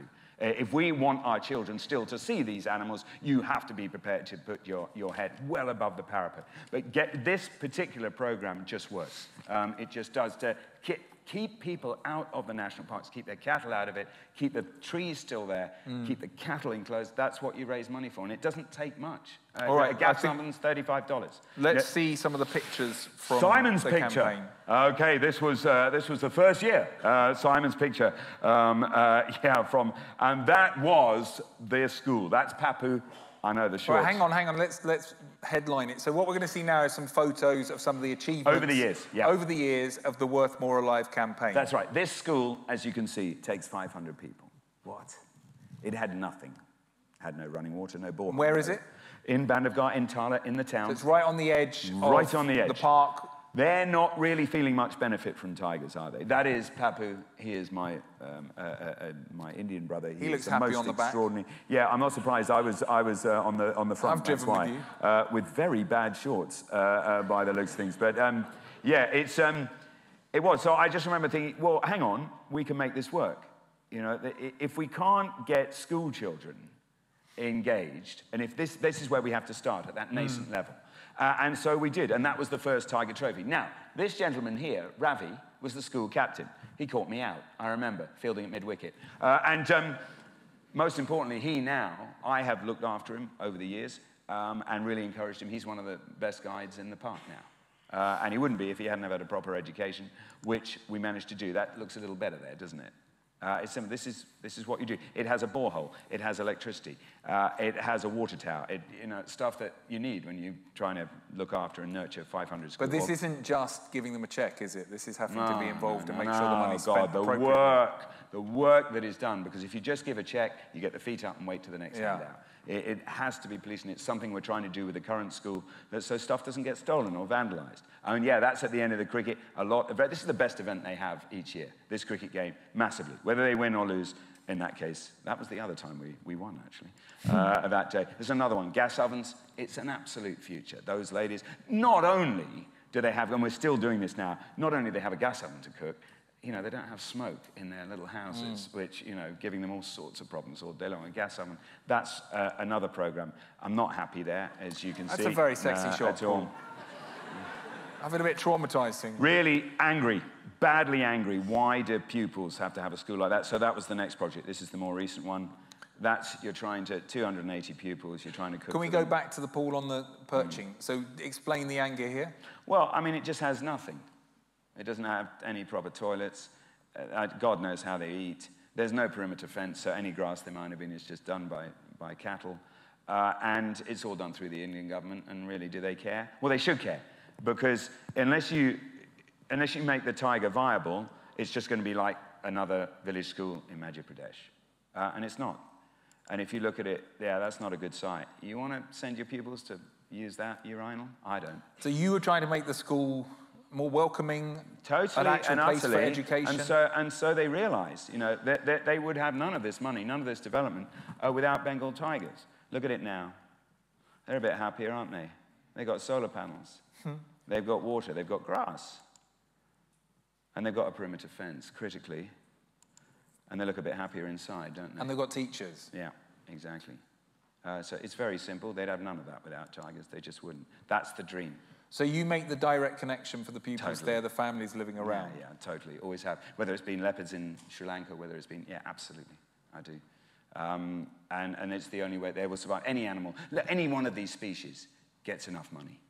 Signature species. get- I don't know how many rhino charities there are. It's got to be audited properly, and it's got to avoid the, the sort of ghastly, um, unholy trinity of sort of endless meetings, four-wheel drives, and HR or whatever. You know, it, that's not what makes things work. Uh, it isn't. Uh, it Can just isn't.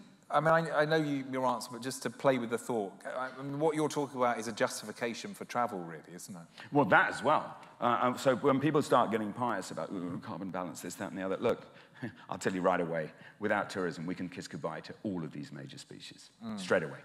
No question. And then it just becomes a question of appropriation uh, of funds. Uh, it is. It's Simple not just, the, sp- I mean, it, the, it's- I want to say it's not just the species, but it's the entire ecosystem. Yeah, yeah, it is. Um, and it's important. It really is. Uh, and um, yeah, when you see something like that in the wild, and you know, I just look at the audience here, and there's a lot of you here who have been incredibly generous uh, over the years. I may have put myself through it a bit. You know, the success story is people putting their hands deep in their pockets, and they have. Uh, they really have. So, yeah, are they? You think so? I do. And I'll continue to think so. Uh, I really will. Um, yeah, and so you get heroes. You just do. That's, all mid morning snack, chai and noodles. Yeah, it's good. There are heroes. Without Jim, the Kilimanjaro thing would not have happened. If you want someone, he's done 40 treks up Kilimanjaro. Absolute stalwart, absolute hero, and a dear friend. Wouldn't have happened without him. There he is. That is Pappu and Manjit. None of this would have happened without them. They are sorcerers. They're magicians. You think I have them in Kenya? This is their equivalent. Um, in, that was last May. Um, yeah, there's Simon uh, and aforementioned Nokia uh, and Alun as well.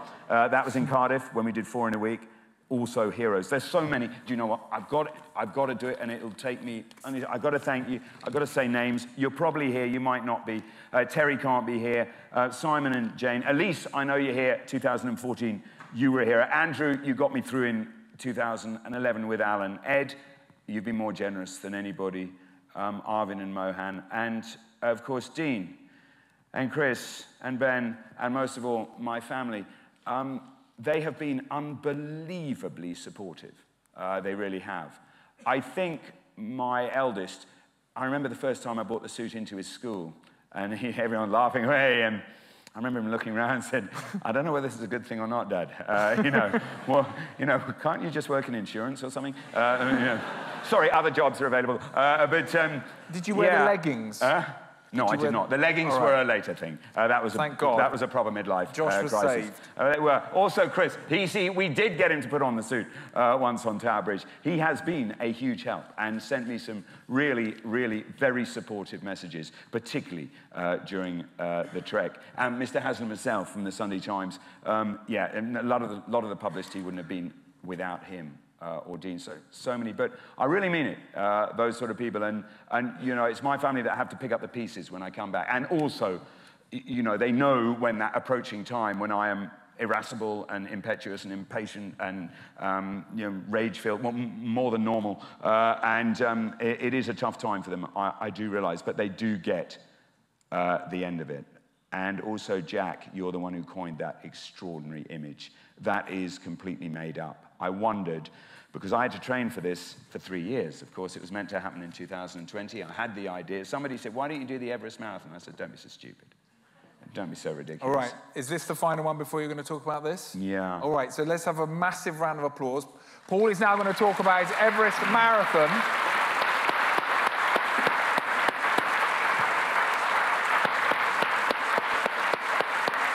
And as he gets up, we all should say, so he's going to talk about his Everest Marathon, and then we're going to have a, an auction. We're going to go straight into the auction, okay? okay? So I, I, am joking apart. You, you, are going to, you are going to get out before midnight. Can we dim the lights a little bit? Yeah, the, the pictures are more important than, um, uh, than me. If we can take the lights off the screen a bit. Is that all right? Can you hear me at the... Just take they. Can can hear we, yeah, great. We can take them down a bit. Okay, so most important thing. Uh, when I took this on, as I said, it was meant to happen in, in uh, 2020. It didn't. Uh, and then we thought it might happen in 2021, and it didn't. Uh, and um, then, uh, yeah, I thought, let's do it. Let's make this happen. And when I jumped on the plane, um, I remember thinking, I've got to be angry uh, for this because otherwise I'm going to be defeated. And I nearly was anyway. So the first thing I did was book that, buy that. Uh, that made me suitably angry uh, for the whole thing. and, um, and then I flew to, uh, my God, it did. Uh, anyway, I flew to, um, to Kathmandu and, and, went to a hotel, the Royal Singi uh, Hotel. Uh, Royal Singi, I haven't used for, I hadn't been there for years, but it's always one uh, used with trekking groups and all sorts. Uh, and it was wonderful, and I had a cup of tea. I thought, this is going awfully well. Uh, and then we drove for about five hours and stayed in this little guest house. So all good so far. Uh, there's the guest house there. And then I thought, I'm going to go all Shoreditch with my food whilst I'm out here. So I thought, I'm just going to have some noodles. I'm not going to go meat. Uh, that's fine. Now, this is, uh, here we are. This is, that's it, being cooked there. Uh, error. Big error. Okay, at five o'clock, I remember waking up, and you know the feeling well. I'm not going to go in great detail, but uh, mm, that. I remember seeing Arsenal had lost, so that made me happy. Uh, uh, and, um, and then thinking, oh, not so good. Uh, and essentially, we've been there. Uh, there it is again. That was my Shoreditch meal. I just went with noodles. And then there's the suit. I had 13 hours in this four wheel drive over bumpy roads.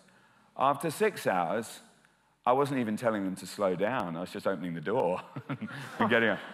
I have never felt so. I'm thinking, this is the first day. This is not a good start at all. I mean, I was so weak. Uh, and I thought, I've got to start trekking tomorrow. Uh, and we stopped, got our first view of Everest.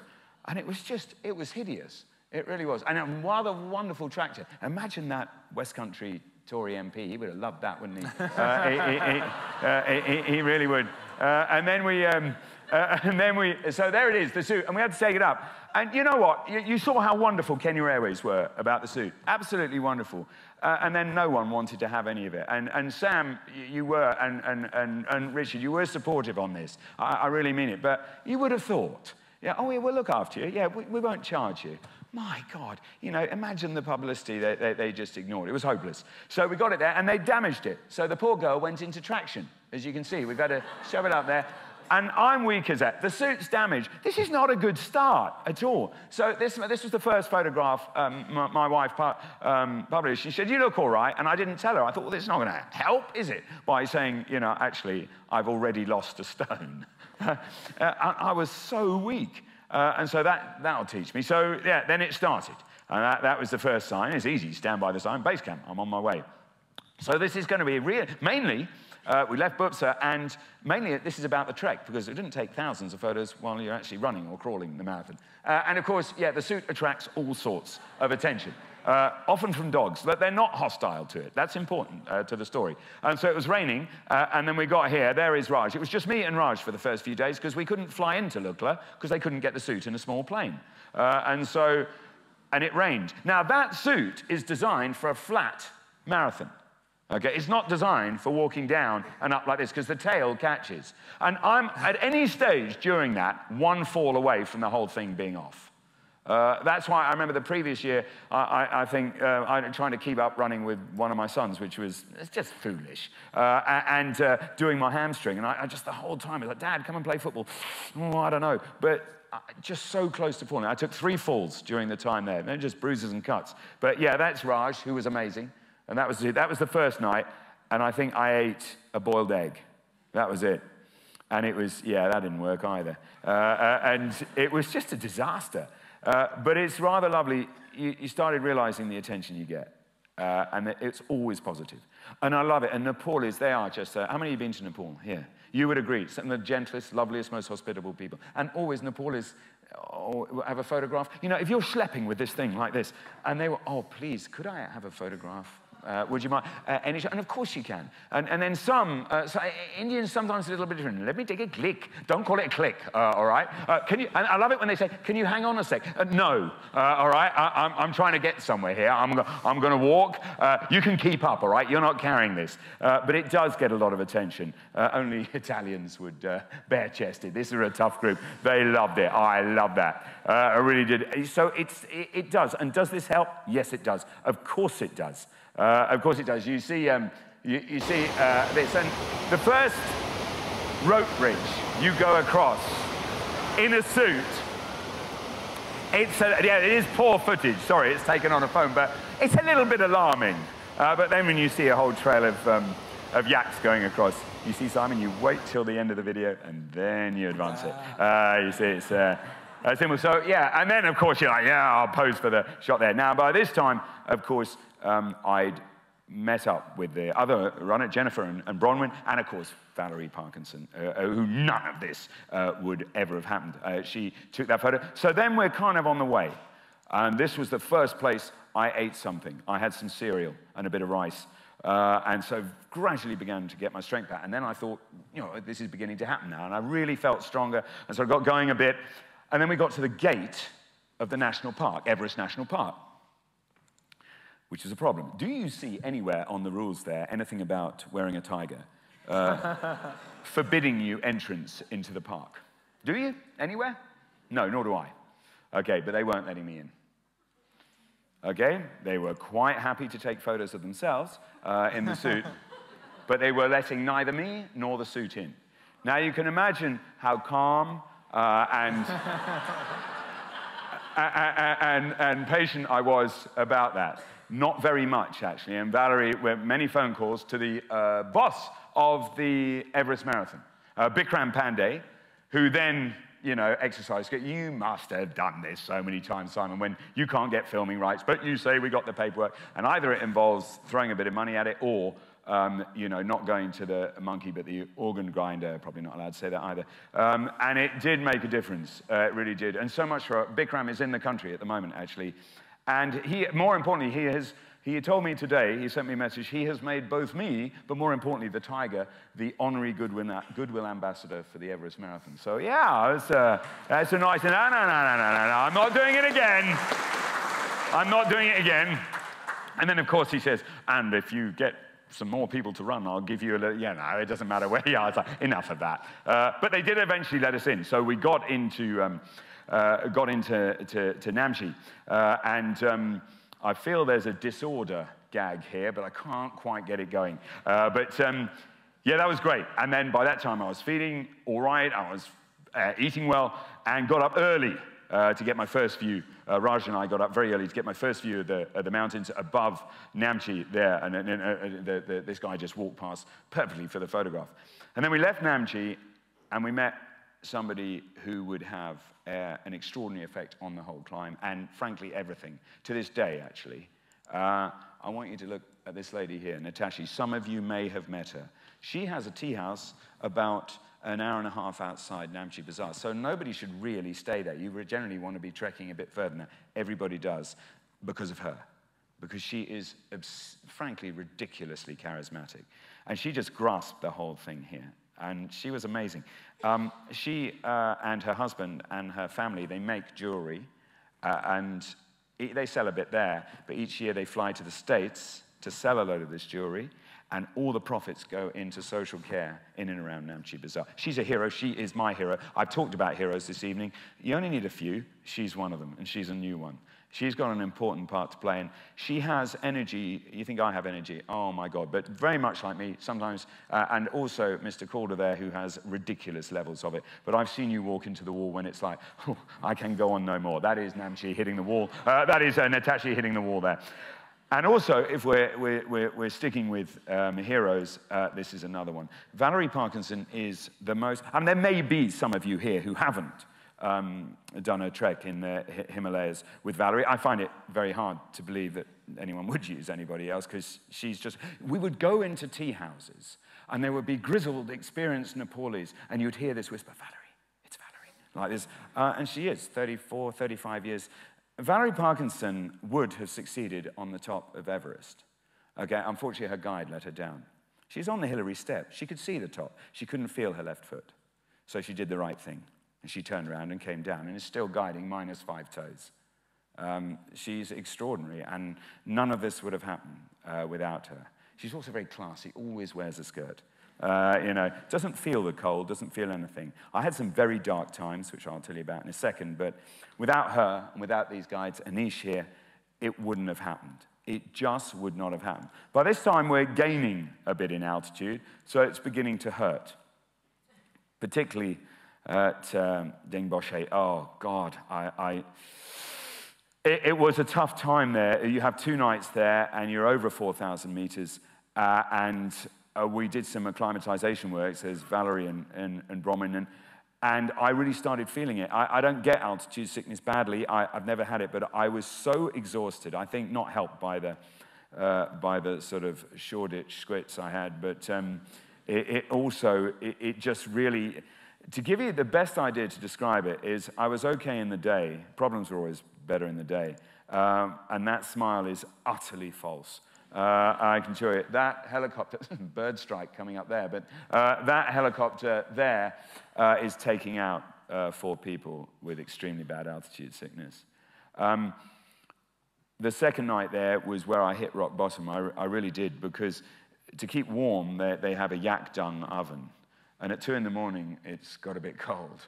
so I'm crouched around there. Every time I try to sleep, I drop off hideous, you know, nightmares induced by hypoxia or whatever it was. But Val took my bloods and it was very strong. It was A+. plus. So I don't really know what it was. I then went to try and find an oxygen. I never told her this, never told anyone this actually. I went to find an oxygen tank. I thought, I'm going to try something just to distract me. And, and, and Raj said, You've got to have the whole thing. And I said, Well, get me some pliers. Uh, and so I sort of opened it, like, oh, well, maybe that's too much. And it was anything to just, just to distract me. And eventually, I think I, I got a bit of rest as we got higher. But on, on times like this, you, you think about lots of things. But particularly, I, I have to keep my eyes on game number one, which is, of course, and I think of photos I've taken of, of, of Bengal tigers uh, and photographs I haven't got quite right, uh, of slow shutter speeds I shouldn't have even tried.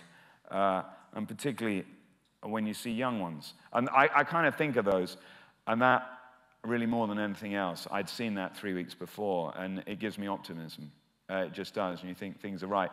Once we started going higher, strangely, uh, and a sort of half a Diamox pill, I started feeling a bit better. And as you can see, the conditions not always great. Uh, as you can see, that, that, that was pretty tough. Um, but um, with that, yeah, it's, it's May time. So you're going to get that sort of weather. And, and it, was, it was cold, but it wasn't stupid. And, and then when you're feeling, oh, God, this is hurting, you meet a couple of guys like these. Now, these two came bouncing down past me. I said, oh, can we have a photo? I said, yeah, uh, uh, uh, of course you can. Uh, I'm happy to give them a photo. And um, I said, where have you been? Oh, yeah, we, we just got down uh, from, oh, I was from base camp. No, from the summit. and what's more, they had done their training for three weeks. They'd, uh, they'd gone back down to, I think they'd uh, gone down pretty low to about 3,500 come up. They had done it from base camp up and down in 24 hours. Okay, so you think, I'm carrying a tiger suit. I'm just going up to base camp here. Uh, these are superhuman. Uh, and let's be clear, the, the, first 35 people in on the marathon, where do you think they were from? That would be Nepal. Uh, who would have thought? Sometimes, though, when your hunger's back, you need to, this is the best apple pie I've ever eaten. And I can assure you that wasn't the only piece I had. Uh, and once that sugar starts getting, you get into, this was in Tangboche, which was great. Happy to be there. I didn't use walking boots. I just used cushioned shoes. I've still got uh, problems with my, that Achilles with scar tissue. And as soon as we got there, they said, would you come and do a tree planting operation, which um, everyone's happy with. So it's not really what you want when you've been going eight hours, but uh, we went, uh, yeah, come and dig a hole and plant a tree, would you? But uh, yeah, it was nice. Uh, it was good, nice to be uh, recognized, so that they, they were happy with that. You can see, look on my face, yeah, I'm kind of done here. can I go now and have some chai, please? and um, so uh, that, that was good at Tangboche. And um, the thing about Tang Tangboche is it has an important part in the marathon because it, it, it's the monastery there which is the cutoff. And when you start, when you come down, if you haven't reached Tang Tangboche Monastery by a certain time, there's no one there to tick you off. So you can finish the marathon, but it won't be till the next day. And you're kind of cut adrift. You have to find your own accommodation. So that was perpetually in my head during the race. By this time, of course, you're getting high up in the mountains and you've got this extraordinary mountain scenery and also a lot of attention.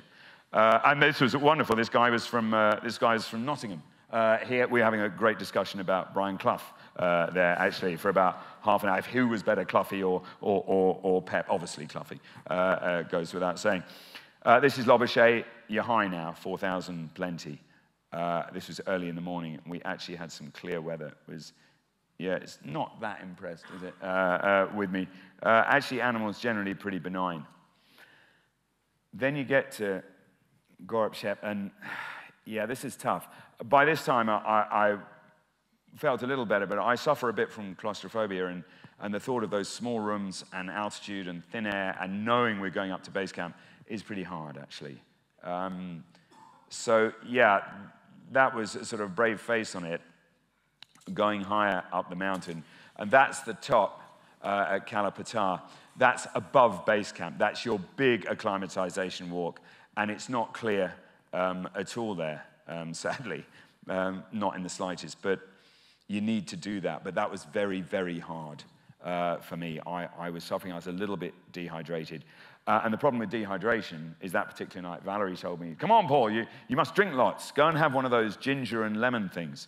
So I bought, uh, you know, those old tartan um, thermoses, except this one's about that big. So I ordered, it was about 12 quid uh, for one of these things. And, and I saw all the ginger in there. I, you know, I thought, oh, they'll squeeze some lemons in. What I didn't realize, it was sort of lemon powder, which re really on the packet should have just said instant diuretic. Uh, and um, I, about every 10 minutes, it was like gallons and gallons. Uh, it's just not what I needed. So I didn't sleep that well after there, but at least got that altitude um, in the tank. And it was cloudy, you know, in May time, uh, you often get that, but it also gives you some idea of just, can we just dim the lights a little bit more? Is it possible? Um, I, uh, just how beautiful um, Nepal is, this, this extraordinary mountain kingdom. Uh, Valerie sent me that this morning. That's where she is. She, that was a bit of the Jim Bowen, really, wasn't it? Come on, look what you could have won, Paul. This is what it could have been like. Uh, uh, but um, yeah, there is Everest. That's what you should see from the top there. So the fact that I was exhausted and we didn't really get a view, that kind of made it quite hard as well. Uh, but anyway, uh, so that was, and then we are on the way up. As you see, and this was hard. It really was. I tell you what, you know, how many of you have been above 5,000 meters here? Just yeah, well, you'll know what I'm talking about. Everything has to slow down absolutely everything you do, you slow down. Because if you don't, you're going outside of that sort of vascular or, or, or indeed lung compass, and that's when you suffer. I mean, something like that. Even drinking, you need to take a few breaths first. Eating, even the simple act of, of, of mastication can, can, make you gasp, make you go blind as well, but uh, it, it's, uh, you know, there can be real problems. Uh, I, I mean it. So if you're not disciplined, that's when you can fail. And yeah, it's like, please, can we have a photo? You can see how happy I am with that photo. Uh, i want to get on with it now. So this is right up at base camp. And that is where we stay for two days at base camp. And it is hard. It really is. Because base camp is not where most people stay, only when you're doing the actual climb. So it's tough. That's very important. That's your toilet tent. That's the staff toilet tent. That's not one you want to go anywhere near. This is a moving ice field here. Let's be clear, a moving ice field. Uh, I was sat not this far from you, Simon, chatting to an Indian runner. He was sat on a pile of granite, the whole thing just tumbled. And it's what, yeah, it's a moving ice field, and it doesn't help with a lot of people there. You know, you've got toilets, that's going to get into the ice. It is quite hazardous, but to have two nights there is tough. That's where you sleep. That's the view from my tent. It snowed a lot the first night. It really did. And you do little acclimatization walks, try and take some arty photos, but that ice is moving. It is very beautiful, let's be clear. And every time you feel exhausted, you're humbled by some of these porters coming past. One of them I met, 105 kilos on his back. Mm. And people say, oh, well, there should be protection and everything. Yeah, imagine two years of COVID. And none of them suffered in Nepal. Living at altitude. Come on. But they were still butchered because tourists weren't allowed or couldn't go or whatever it was. And um, so if he doesn't take it, somebody else will. And it's very easy to sort of throw Western values on it, but it doesn't work. And you just stand around, you do a bit of acclimatization, enjoy the, you know, as much rest as you can. Uh, that is actually the route, though, and that's the bottom of the Khumbu Icefall. Um, there's a wonderful photo of it in the exhibition outside. Now, that's Ricky, and these three are all smiling because they're not doing the race. Uh, uh, and they're organizing uh, the, the, whole thing. And I tell you, when we arrived, there was a helicopter there flying five people out. Five runners who just weren't going to make it. Uh, their bloods had dropped, one of them very seriously ill indeed. Um, so, yeah, it was sobering. Uh, it really was. That was the uh, winner outside of Nepalese, just doing a training run. I didn't do a training run. no, I just ate. Uh, and that was the, the, the, night before. And so I, I, put her under the tarpaulin, and that's my tent there. You don't sleep very well. That's the night. Let's see if this. Um... It's the night before the marathon. There's people clustered around in nervous groups, offering pretty disingenuous advice. I don't think anyone's feeling that confident. My preparation has been an absolutely magnificent hot chicken curry. Is that advisable? Around 13 miles tomorrow, I think we'll find out. Am I nervous? Of course I am. Is it the toughest thing I've ever done? What do you think?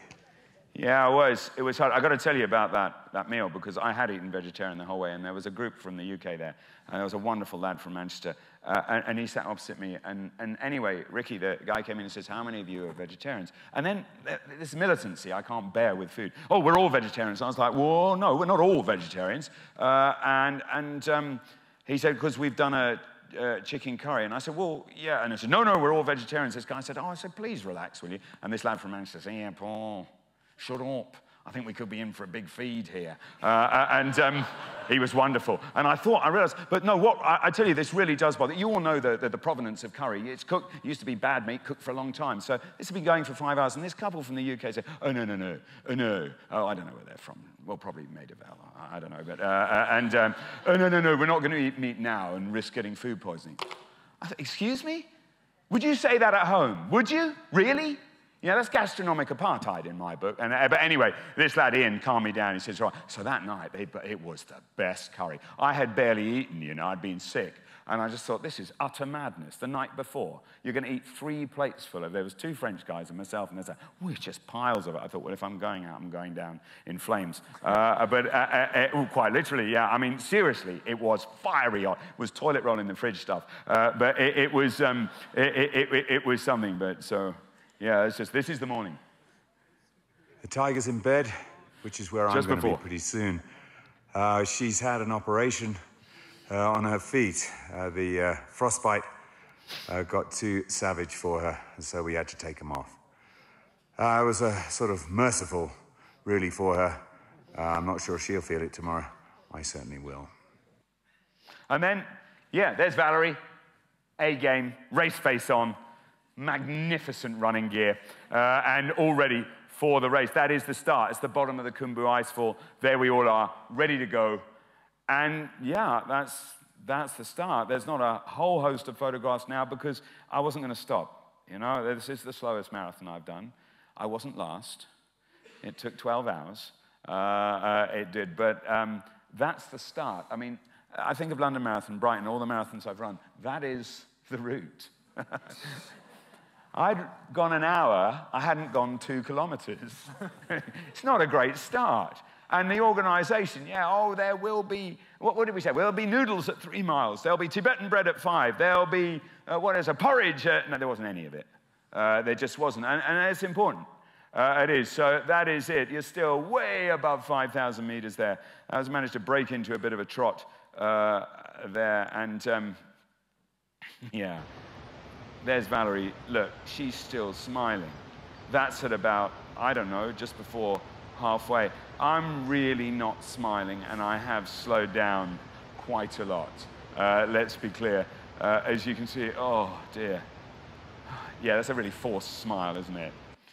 Uh, okay, and, and again, um, it, it did. It got harder and harder. And with five miles to go, we'd just done a, it's a 1,200 foot descent, steep, then a 1,200 foot ascent. And I swear I fell asleep several times actually on my walking poles. I was just completely out of it.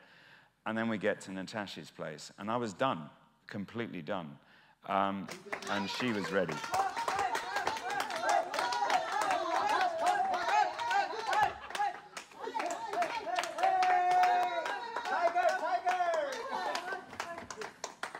This is not much of a high five coming up.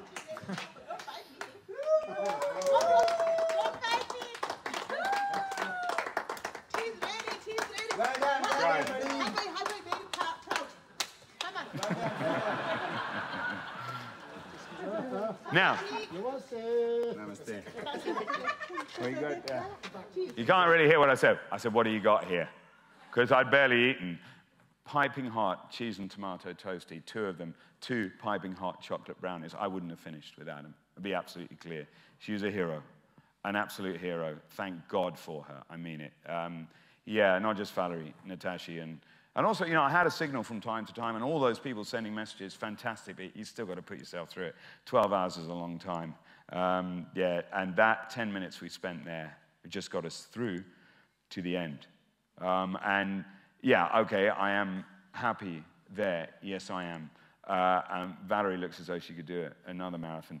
uh, at the end of it. And then we checked into the hotel. I had to, of course, get photos to my esteemed friend Dean uh, out to make this story. And, you know, by the next morning there, it, it was great because you started seeing this one series of photographs. They kept cropping up. Uh, and yeah, and that's an important thing for the message. It's an important thing for the people staking money. It's all of those things uh, that are important. And then, of course, you know, we've got to get our way down to Lukla, but you've done it and you enjoy it.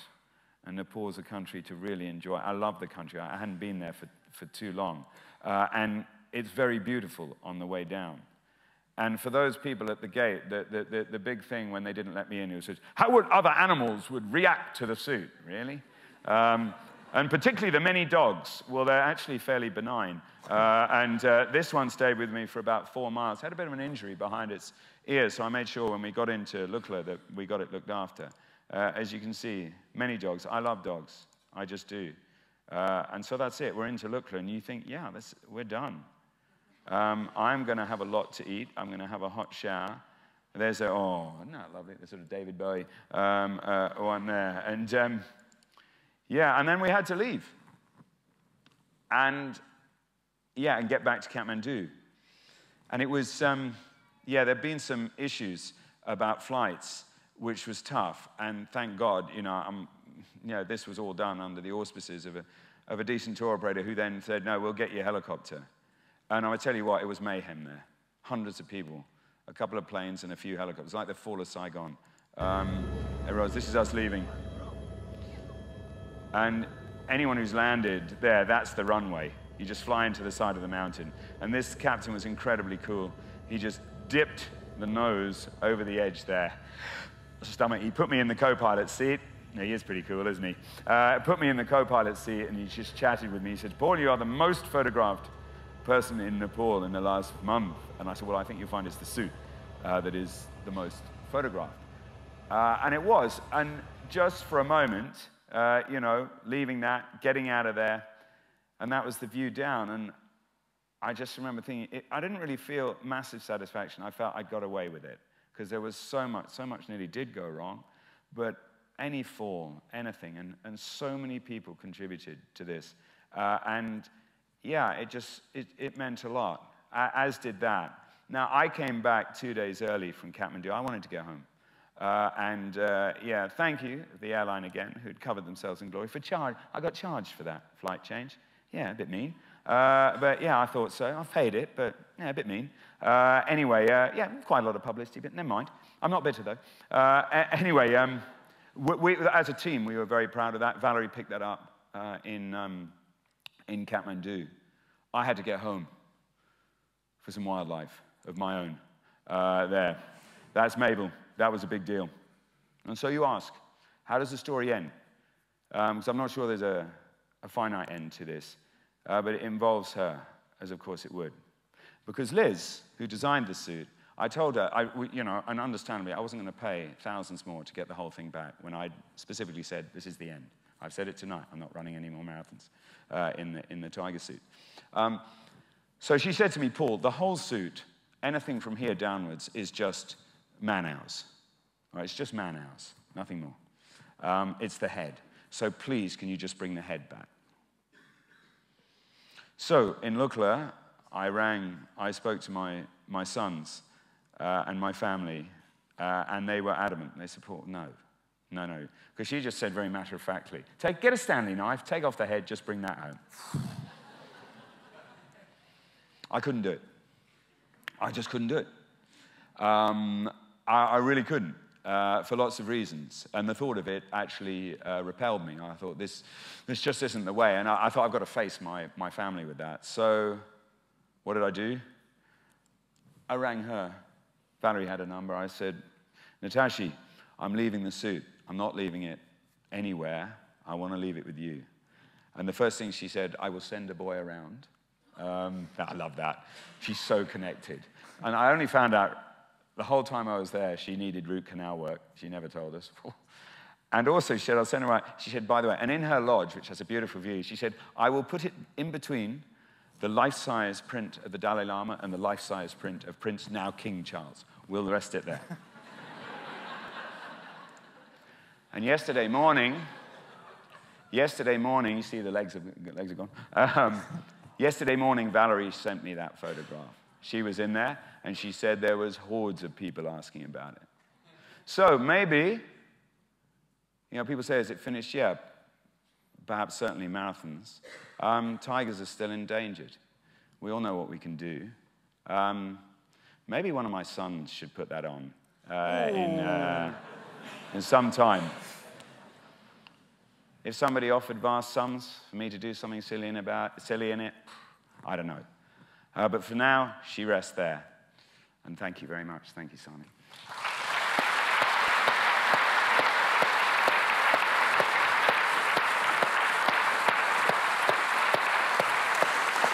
Right.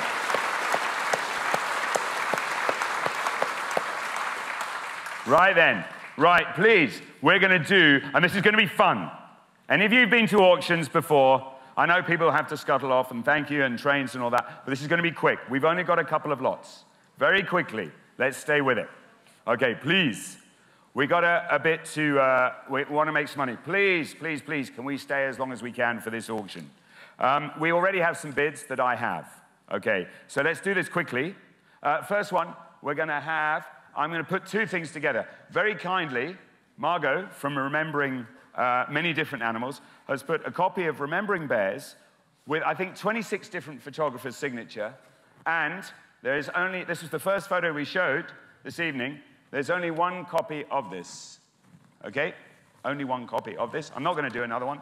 Uh, so that print, I would say with both this and the painting, we will take them with us. We will send them to you. You don't have, strangely, you probably don't want to go on the tube with that. Uh, all right. So, Simon, thank you. Uh, we're going to put that here. I'll put it up there. I'll hold uh, it. Okay, Simon's going to hold that. And those two things, uh, we've only got four lots, are going to go. So, um, can someone start the bidding for this? Please remember what this is for. Uh, is someone going to start me off with a bid for these two? Please, start it off. Just a show of hands. Just a hand is enough uh, for it. Yes. 200 pounds is a decent start. Is somebody going to take that offer for a little bit more than that? The print and the bag. 300 at the back. Thank you. Yes, pointers. Uh, thank you. Uh, thank you very much, Oren and, uh, and Jessica. Um, who else? 300 for the print. 400 here. Thank you very much, Alistair. 400 is going to go for that. I kind of feel it should go for the. Otherwise, Alistair's going to take it home with him. I'm quite, I'm quite happy for that. 400 to Alistair. 500 at the front here. Only four lots tonight. 500 pounds, thank you very much, madam. Very kind. You know where the money's going. It will be, it will be audited properly. 500 pounds. Are you going to take it off, uh, Alistair? 550. I thought you might, uh, actually, yeah. You didn't look happy with her there. A little bit hurt, uh, yeah. 550 pounds. Oh, goodness me. Don't put your jumper on like that. That was nearly a bid, madam. Uh, you can't do that. You can't possibly do that. You nearly had, I hope you've got a big white wall in your house, because uh, that was about to reside there. Uh, 550, I'm going to say, let's move on to the next one. Going to Alistair, unless someone's going to take it off. Once, uh, 600? I hear 600 at the back. Thank you, 600 pounds. 600 pounds? No, Alistair's done. I think we have, I love it when they come in at the deathbed, just like that. So very somebody cool. is going to, I like, very cool. Someone's going to swarm all over you. Your credit card will be vaporized before you even know it. The lovely Jess is going to wander across there. So 600 pounds, I'm going to say sold. Thank you very much indeed. Now, now then, now then, this, uh, ever since I posted that photograph of the two of us, I've had a lot of correspondence, people saying, How do we get one of these caps? Well, you can't, because there's only three of them. My son's wearing the khaki one. This is mine. That's Simon's. All right? So I'm not just, no, no, no, no, no. Hold your money, please. I know you're desperate for it. A one off, as is also a one off. Okay, we know him for many reasons, but his particular sartorial is his headscarf. You are bidding for a piece of Simon Reeve's DNA, frankly. This is unwashed, uh, all right? Uh, the hat I did wash, because uh, he wore that in Kenya the whole time. Okay, the, the, the Simon Reeve's Shemag, never previously auctioned, and the Worth More Alive cap. Is someone going to start me off with this, please? 250. Right, okay. 250 will start the ball. This is Simon Shemag. Uh, come on. What a collector's item this is. 250? Anyone going to take that off them? The cap and the headscarf. You want this badly, don't you? It's, you can't afford it, but no, I know. Imagine you'll sleep with it like this. Um, uh, uh, 250? Is seriously nobody going to take that one? I was hoping for so much more. I told you we should. I'm sorry? I'm happy. If it's 250, it's all money to the cause. Uh, we'll take it. Where are you, madam? 250 straight in. She wanted that badly. It's, uh, oh, oh, hang on, hang on. What's that? 300. Okay, let's just have a little bidding war here, shall we? Uh, by the way, join in from the cheap seats at the back uh, if you want to uh, in the gallery. 300 to the gentleman here. 250. Come on, you do want this. You watch every program he's ever done. I know you do. You've got series links, you've got DVDs, you've got the whole thing. You loved it with Simon on iPlayer saying, it's on iPlayer now, the whole series. We saw it first time, Simon. It's all right. Uh, 300, you going to take it off? 300 going once? 350. Who was 350 here? Okay, well, this is where the action is at here. It's in the mid range here of the audience. 350 going once, 350 going twice. Are you ready? Are you ready? Oh, you want that? There you are. There you are. Thank you very much. Thank you.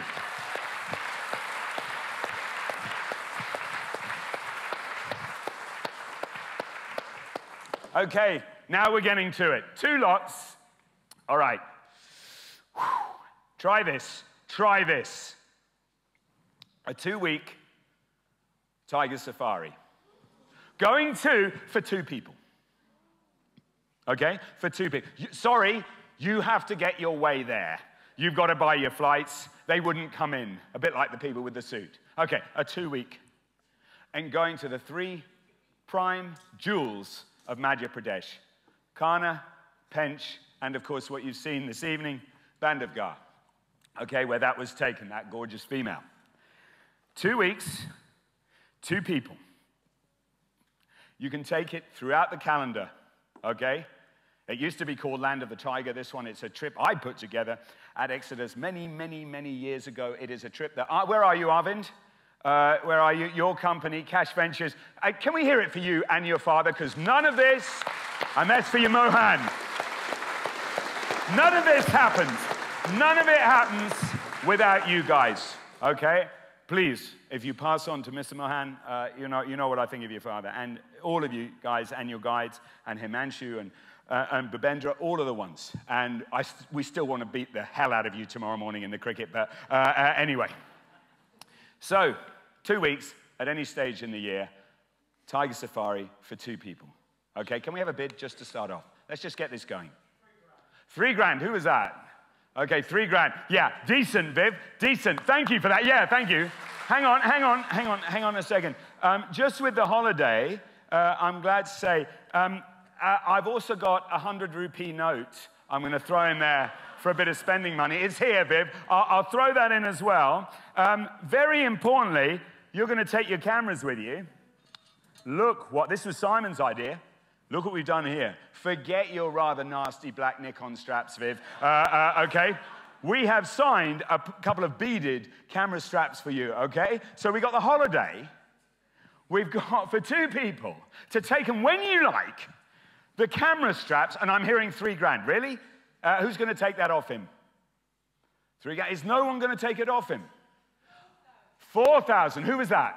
Uh, at the back. Okay, maybe we can, it, it, we can make it, it just increase the mix a little bit here, because we've spoken about him a couple of times. Uh, Richie from Lenses for Hire has very kindly said his and hers, or indeed hers and hers, or his and his, don't mind, whatever you like. Anyone identifying, I don't care, I know. Um, you can have the pick of his arsenal of lenses. You can take the biggest lens you like, each one of you with him. Okay, that's hundreds and hundreds of pounds just straight away. You want to take a 600 millimeter f4 Nikon Canon lens? You can do it with this. 4,000. Sorry, who's bidding for this? Uh, where? Do we hear any more? Is that five? Oh, we got one here. Behind you. 10,000 pounds. Oh, yes. That's more like it. 10 grand. Sorry, uh, Simon, sorry, I was just down in the bleachers there. Anything happening up the top there yet? Not a lot, No, it's not a lot, is there? Uh, okay, 10 grand? Oh my. Um, that was a bit of a jump, wasn't it? Um, I was just kind of working my way up through the sort of fluffing stage there, and suddenly, boom, it's the end. Uh, okay, 10 grand. Anyone going to take that off her? We've still got one more. Anyone going to take it off her? The holiday straps? The, the, the, the, the 100 rupees? Uh, the, um, The camera a- strap. and the camera straps, yes, I mean, it's like Brucey, isn't it? Uh, The camera straps. Uh, and, um, and of course, the lenses. I think this is probably going to be yours. Uh, is anyone going to take that offer? 10 grand, going once? 11? Oh, my. Oh. Where did that come from? Oh, it's at the top. Oh, my. Simon, look, we shamed them. People often ask me, how do you really make a difference with poaching and all that? You shame them. You shame them. You make those politicians squirm. In Asia, there's nothing they hate more than losing face. Shame them. You were shamed. 11 grand, it's a bidding war. It's a straight, it's a straight bidding war before this, by this charming gentleman in the open neck blue shirt there, and this equally gorgeous lady down here. 11 grand, are you going to take it off? Okay, I'm going to say going once. Go- Going twice. Okay, girls, I want a big, big, big attack on this gentleman. Don't let him leave.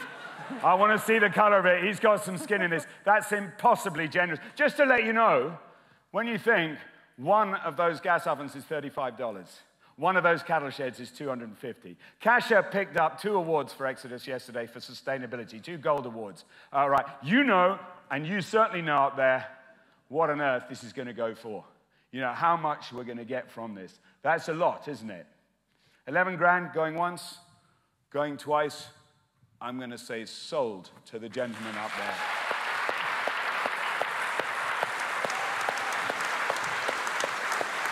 Now, lastly,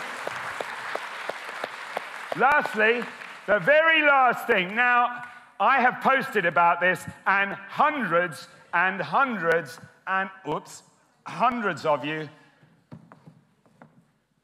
have mentioned it online. I already have a bid on my phone, several for this, but I think they're derisory. I wrote last week there are painters of wildlife, and there are wildlife painters, and there is Karen Laurence-Rowe.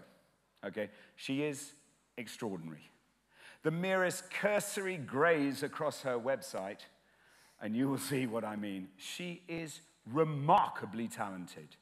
I have loved her work for so long. I know her reasonably well, and I rang her. And I said, Karen, I need you to help me with this. And, you know, she said, Paul, I can't just do this. There's going to be some cost involved. I said, I don't care, Karen. Uh, we need to have you involved at this. Right, first of all, Karen has been ridiculous. I mean, I don't mind telling you that costs hundreds and hundreds and hundreds of pounds to frame because I, you have to do justice to it. That is proper, non reflective, the whole stuff. Karen said, actually, four days ago, Paul, this is my gift to Worth More Alive. She isn't charging for it. Okay? She is just, please have a look at what she does. Uh, okay? Because not, she lives in Kenya. Her wildlife photographs from Kenya, they're just on a different level. Now, the important thing about this, can we just dim the lights just for a second, please? The important thing about this is let's remember what's going on here. Okay? That's a photo I took with Trevor and Dawn sat in the front row here in May. Okay? You can bring them up now, please. Thank you. That involved 45 degrees, sitting half on the bar of a gypsy jeep, leaning against a tree. For many hours the previous afternoon, we sat and we sweated, and we sat and we sweated, and we heard a couple of warning calls. The following morning, we eschewed the tales of hunting tigers, hunting monkeys up by the water, and we just sat and we waited, and we sat and boom, for about five minutes. I've waited 20 years, 20 years plus to take that in Bandhavgarh. It's my favorite tiger photo. I sent Karen 10 photographs, and within a minute, she came back to me, says, one of these sing, sings to me, and I knew which one it was. That's frankly ridiculous. That, that, that's a watercolor. She, as she said online, she dropped her paintbrush twice on the canvas. You wouldn't notice it with it. That is extraordinary. We're happy. There is nothing attached to this um, because it's a one off. It just is. I have had so much correspondence, people saying, oh no, but I want to be, but I'm not there. I said, well, get on a plane. I, well, I'm not, I'm not, I can't come. But, uh, right, enough preamble. Is somebody going to start a bid for this? We will get it to your house. I promise you. Who is going to take this home with them? Start me with a bid, please. A watercolor, one off. It will not be repeated. It will not be painted again. It will not be printed off. Who's going to take that home with them? Yes. 500, okay. Well, a thousand. Keep it coming, please. This is well below uh, what I've already got. Please keep it coming. 1200. 15.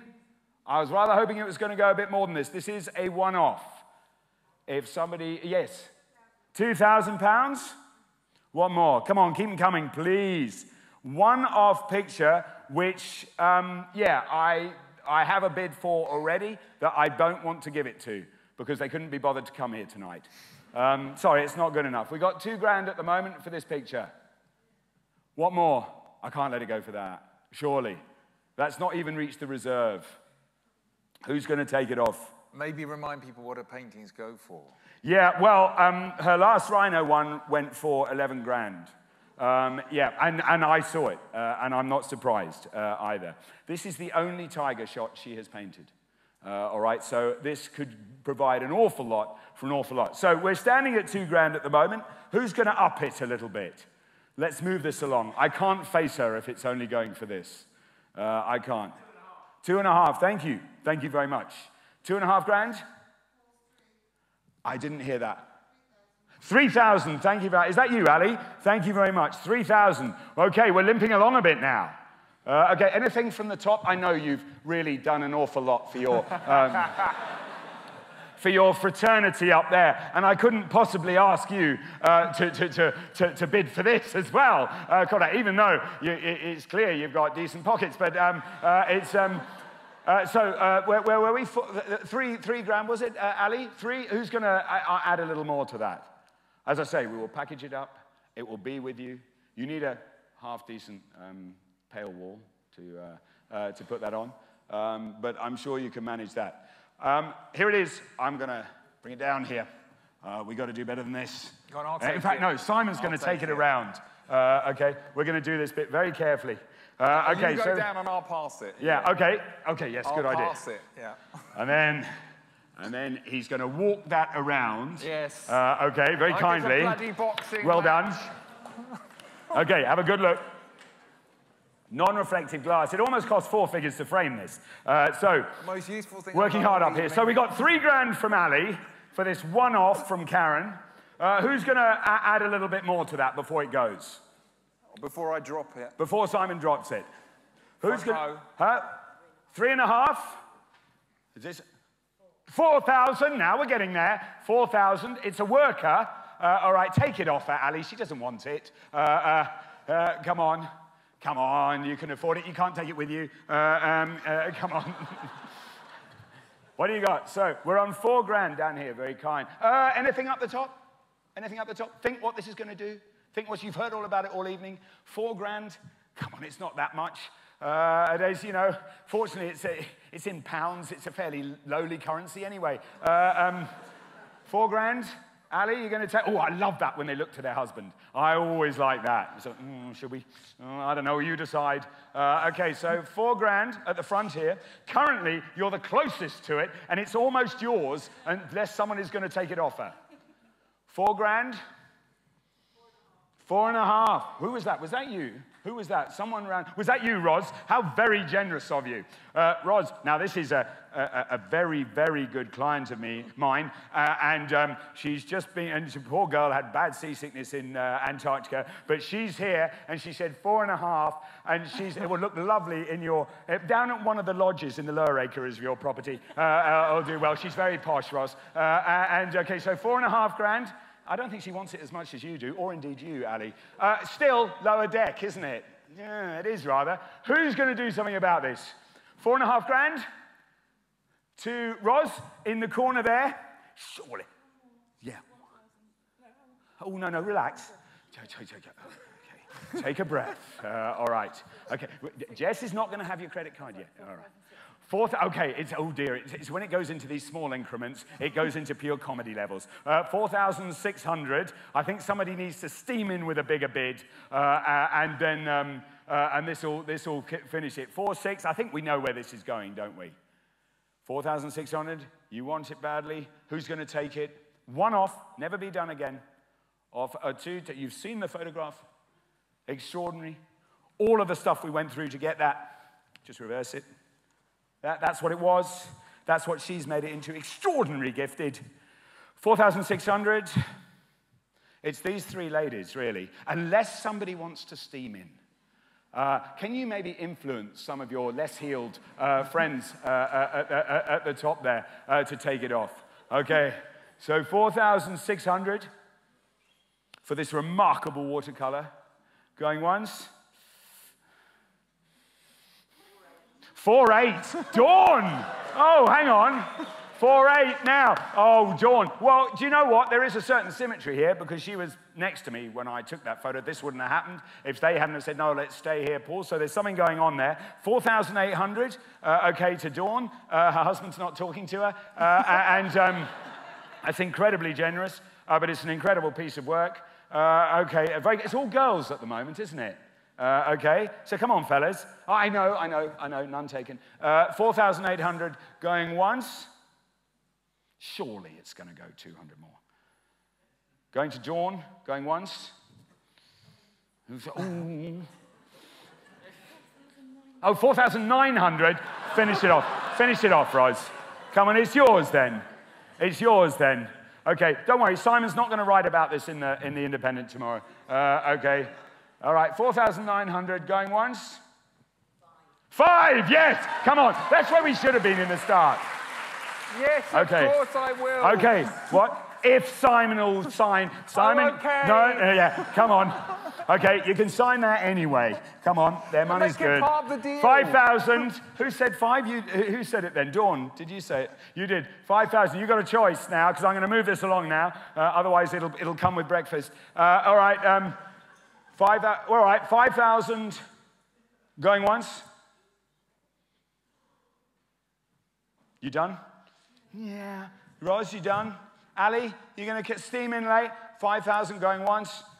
There's a certain, she was there, wasn't she? Dawn, it's yours. Yes, yes, yes, yes.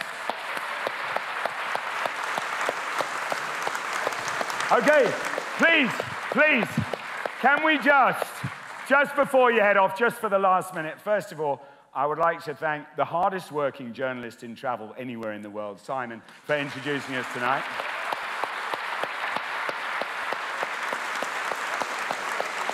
I would also, I'd also like to thank the whole team who have, uh, most importantly, with this whole Worth More Alive thing, the team by the door there. You know, and they have to put up with me. Uh, it's not easy. Uh, it isn't, particularly when I got my teeth into something like this.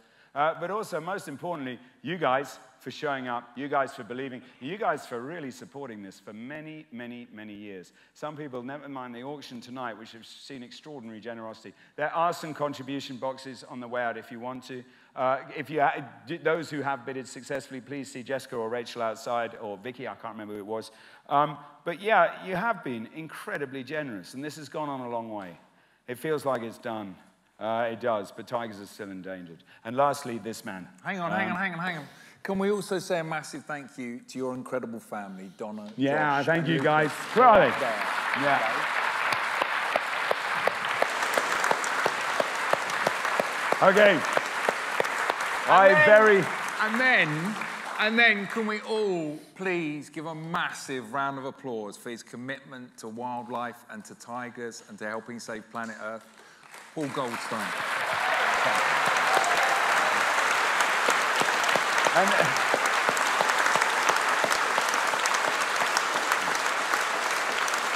and uh, yeah, I, um, I look forward to the school run tomorrow morning. And uh, look, you, you, you all have the, the, the, the box set, the, the on iPlayer and everything. Um, Simon is not only my friend, he's an extraordinary television presenter, and he has embraced this right from the word go, from 10 years ago when I first interviewed him and tried to cut him down to size, calling him some dilettante pretty boy presenter. And he was, and actually he is, as he's proved that day, he is anything, anything but anything but. Uh, and look, I'll be quite clear, we don't have a full house here uh, without him. So thank you so much, Simon Reeve.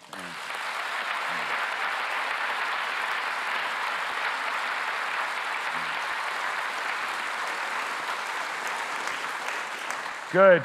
Okay, go do battle with the trains.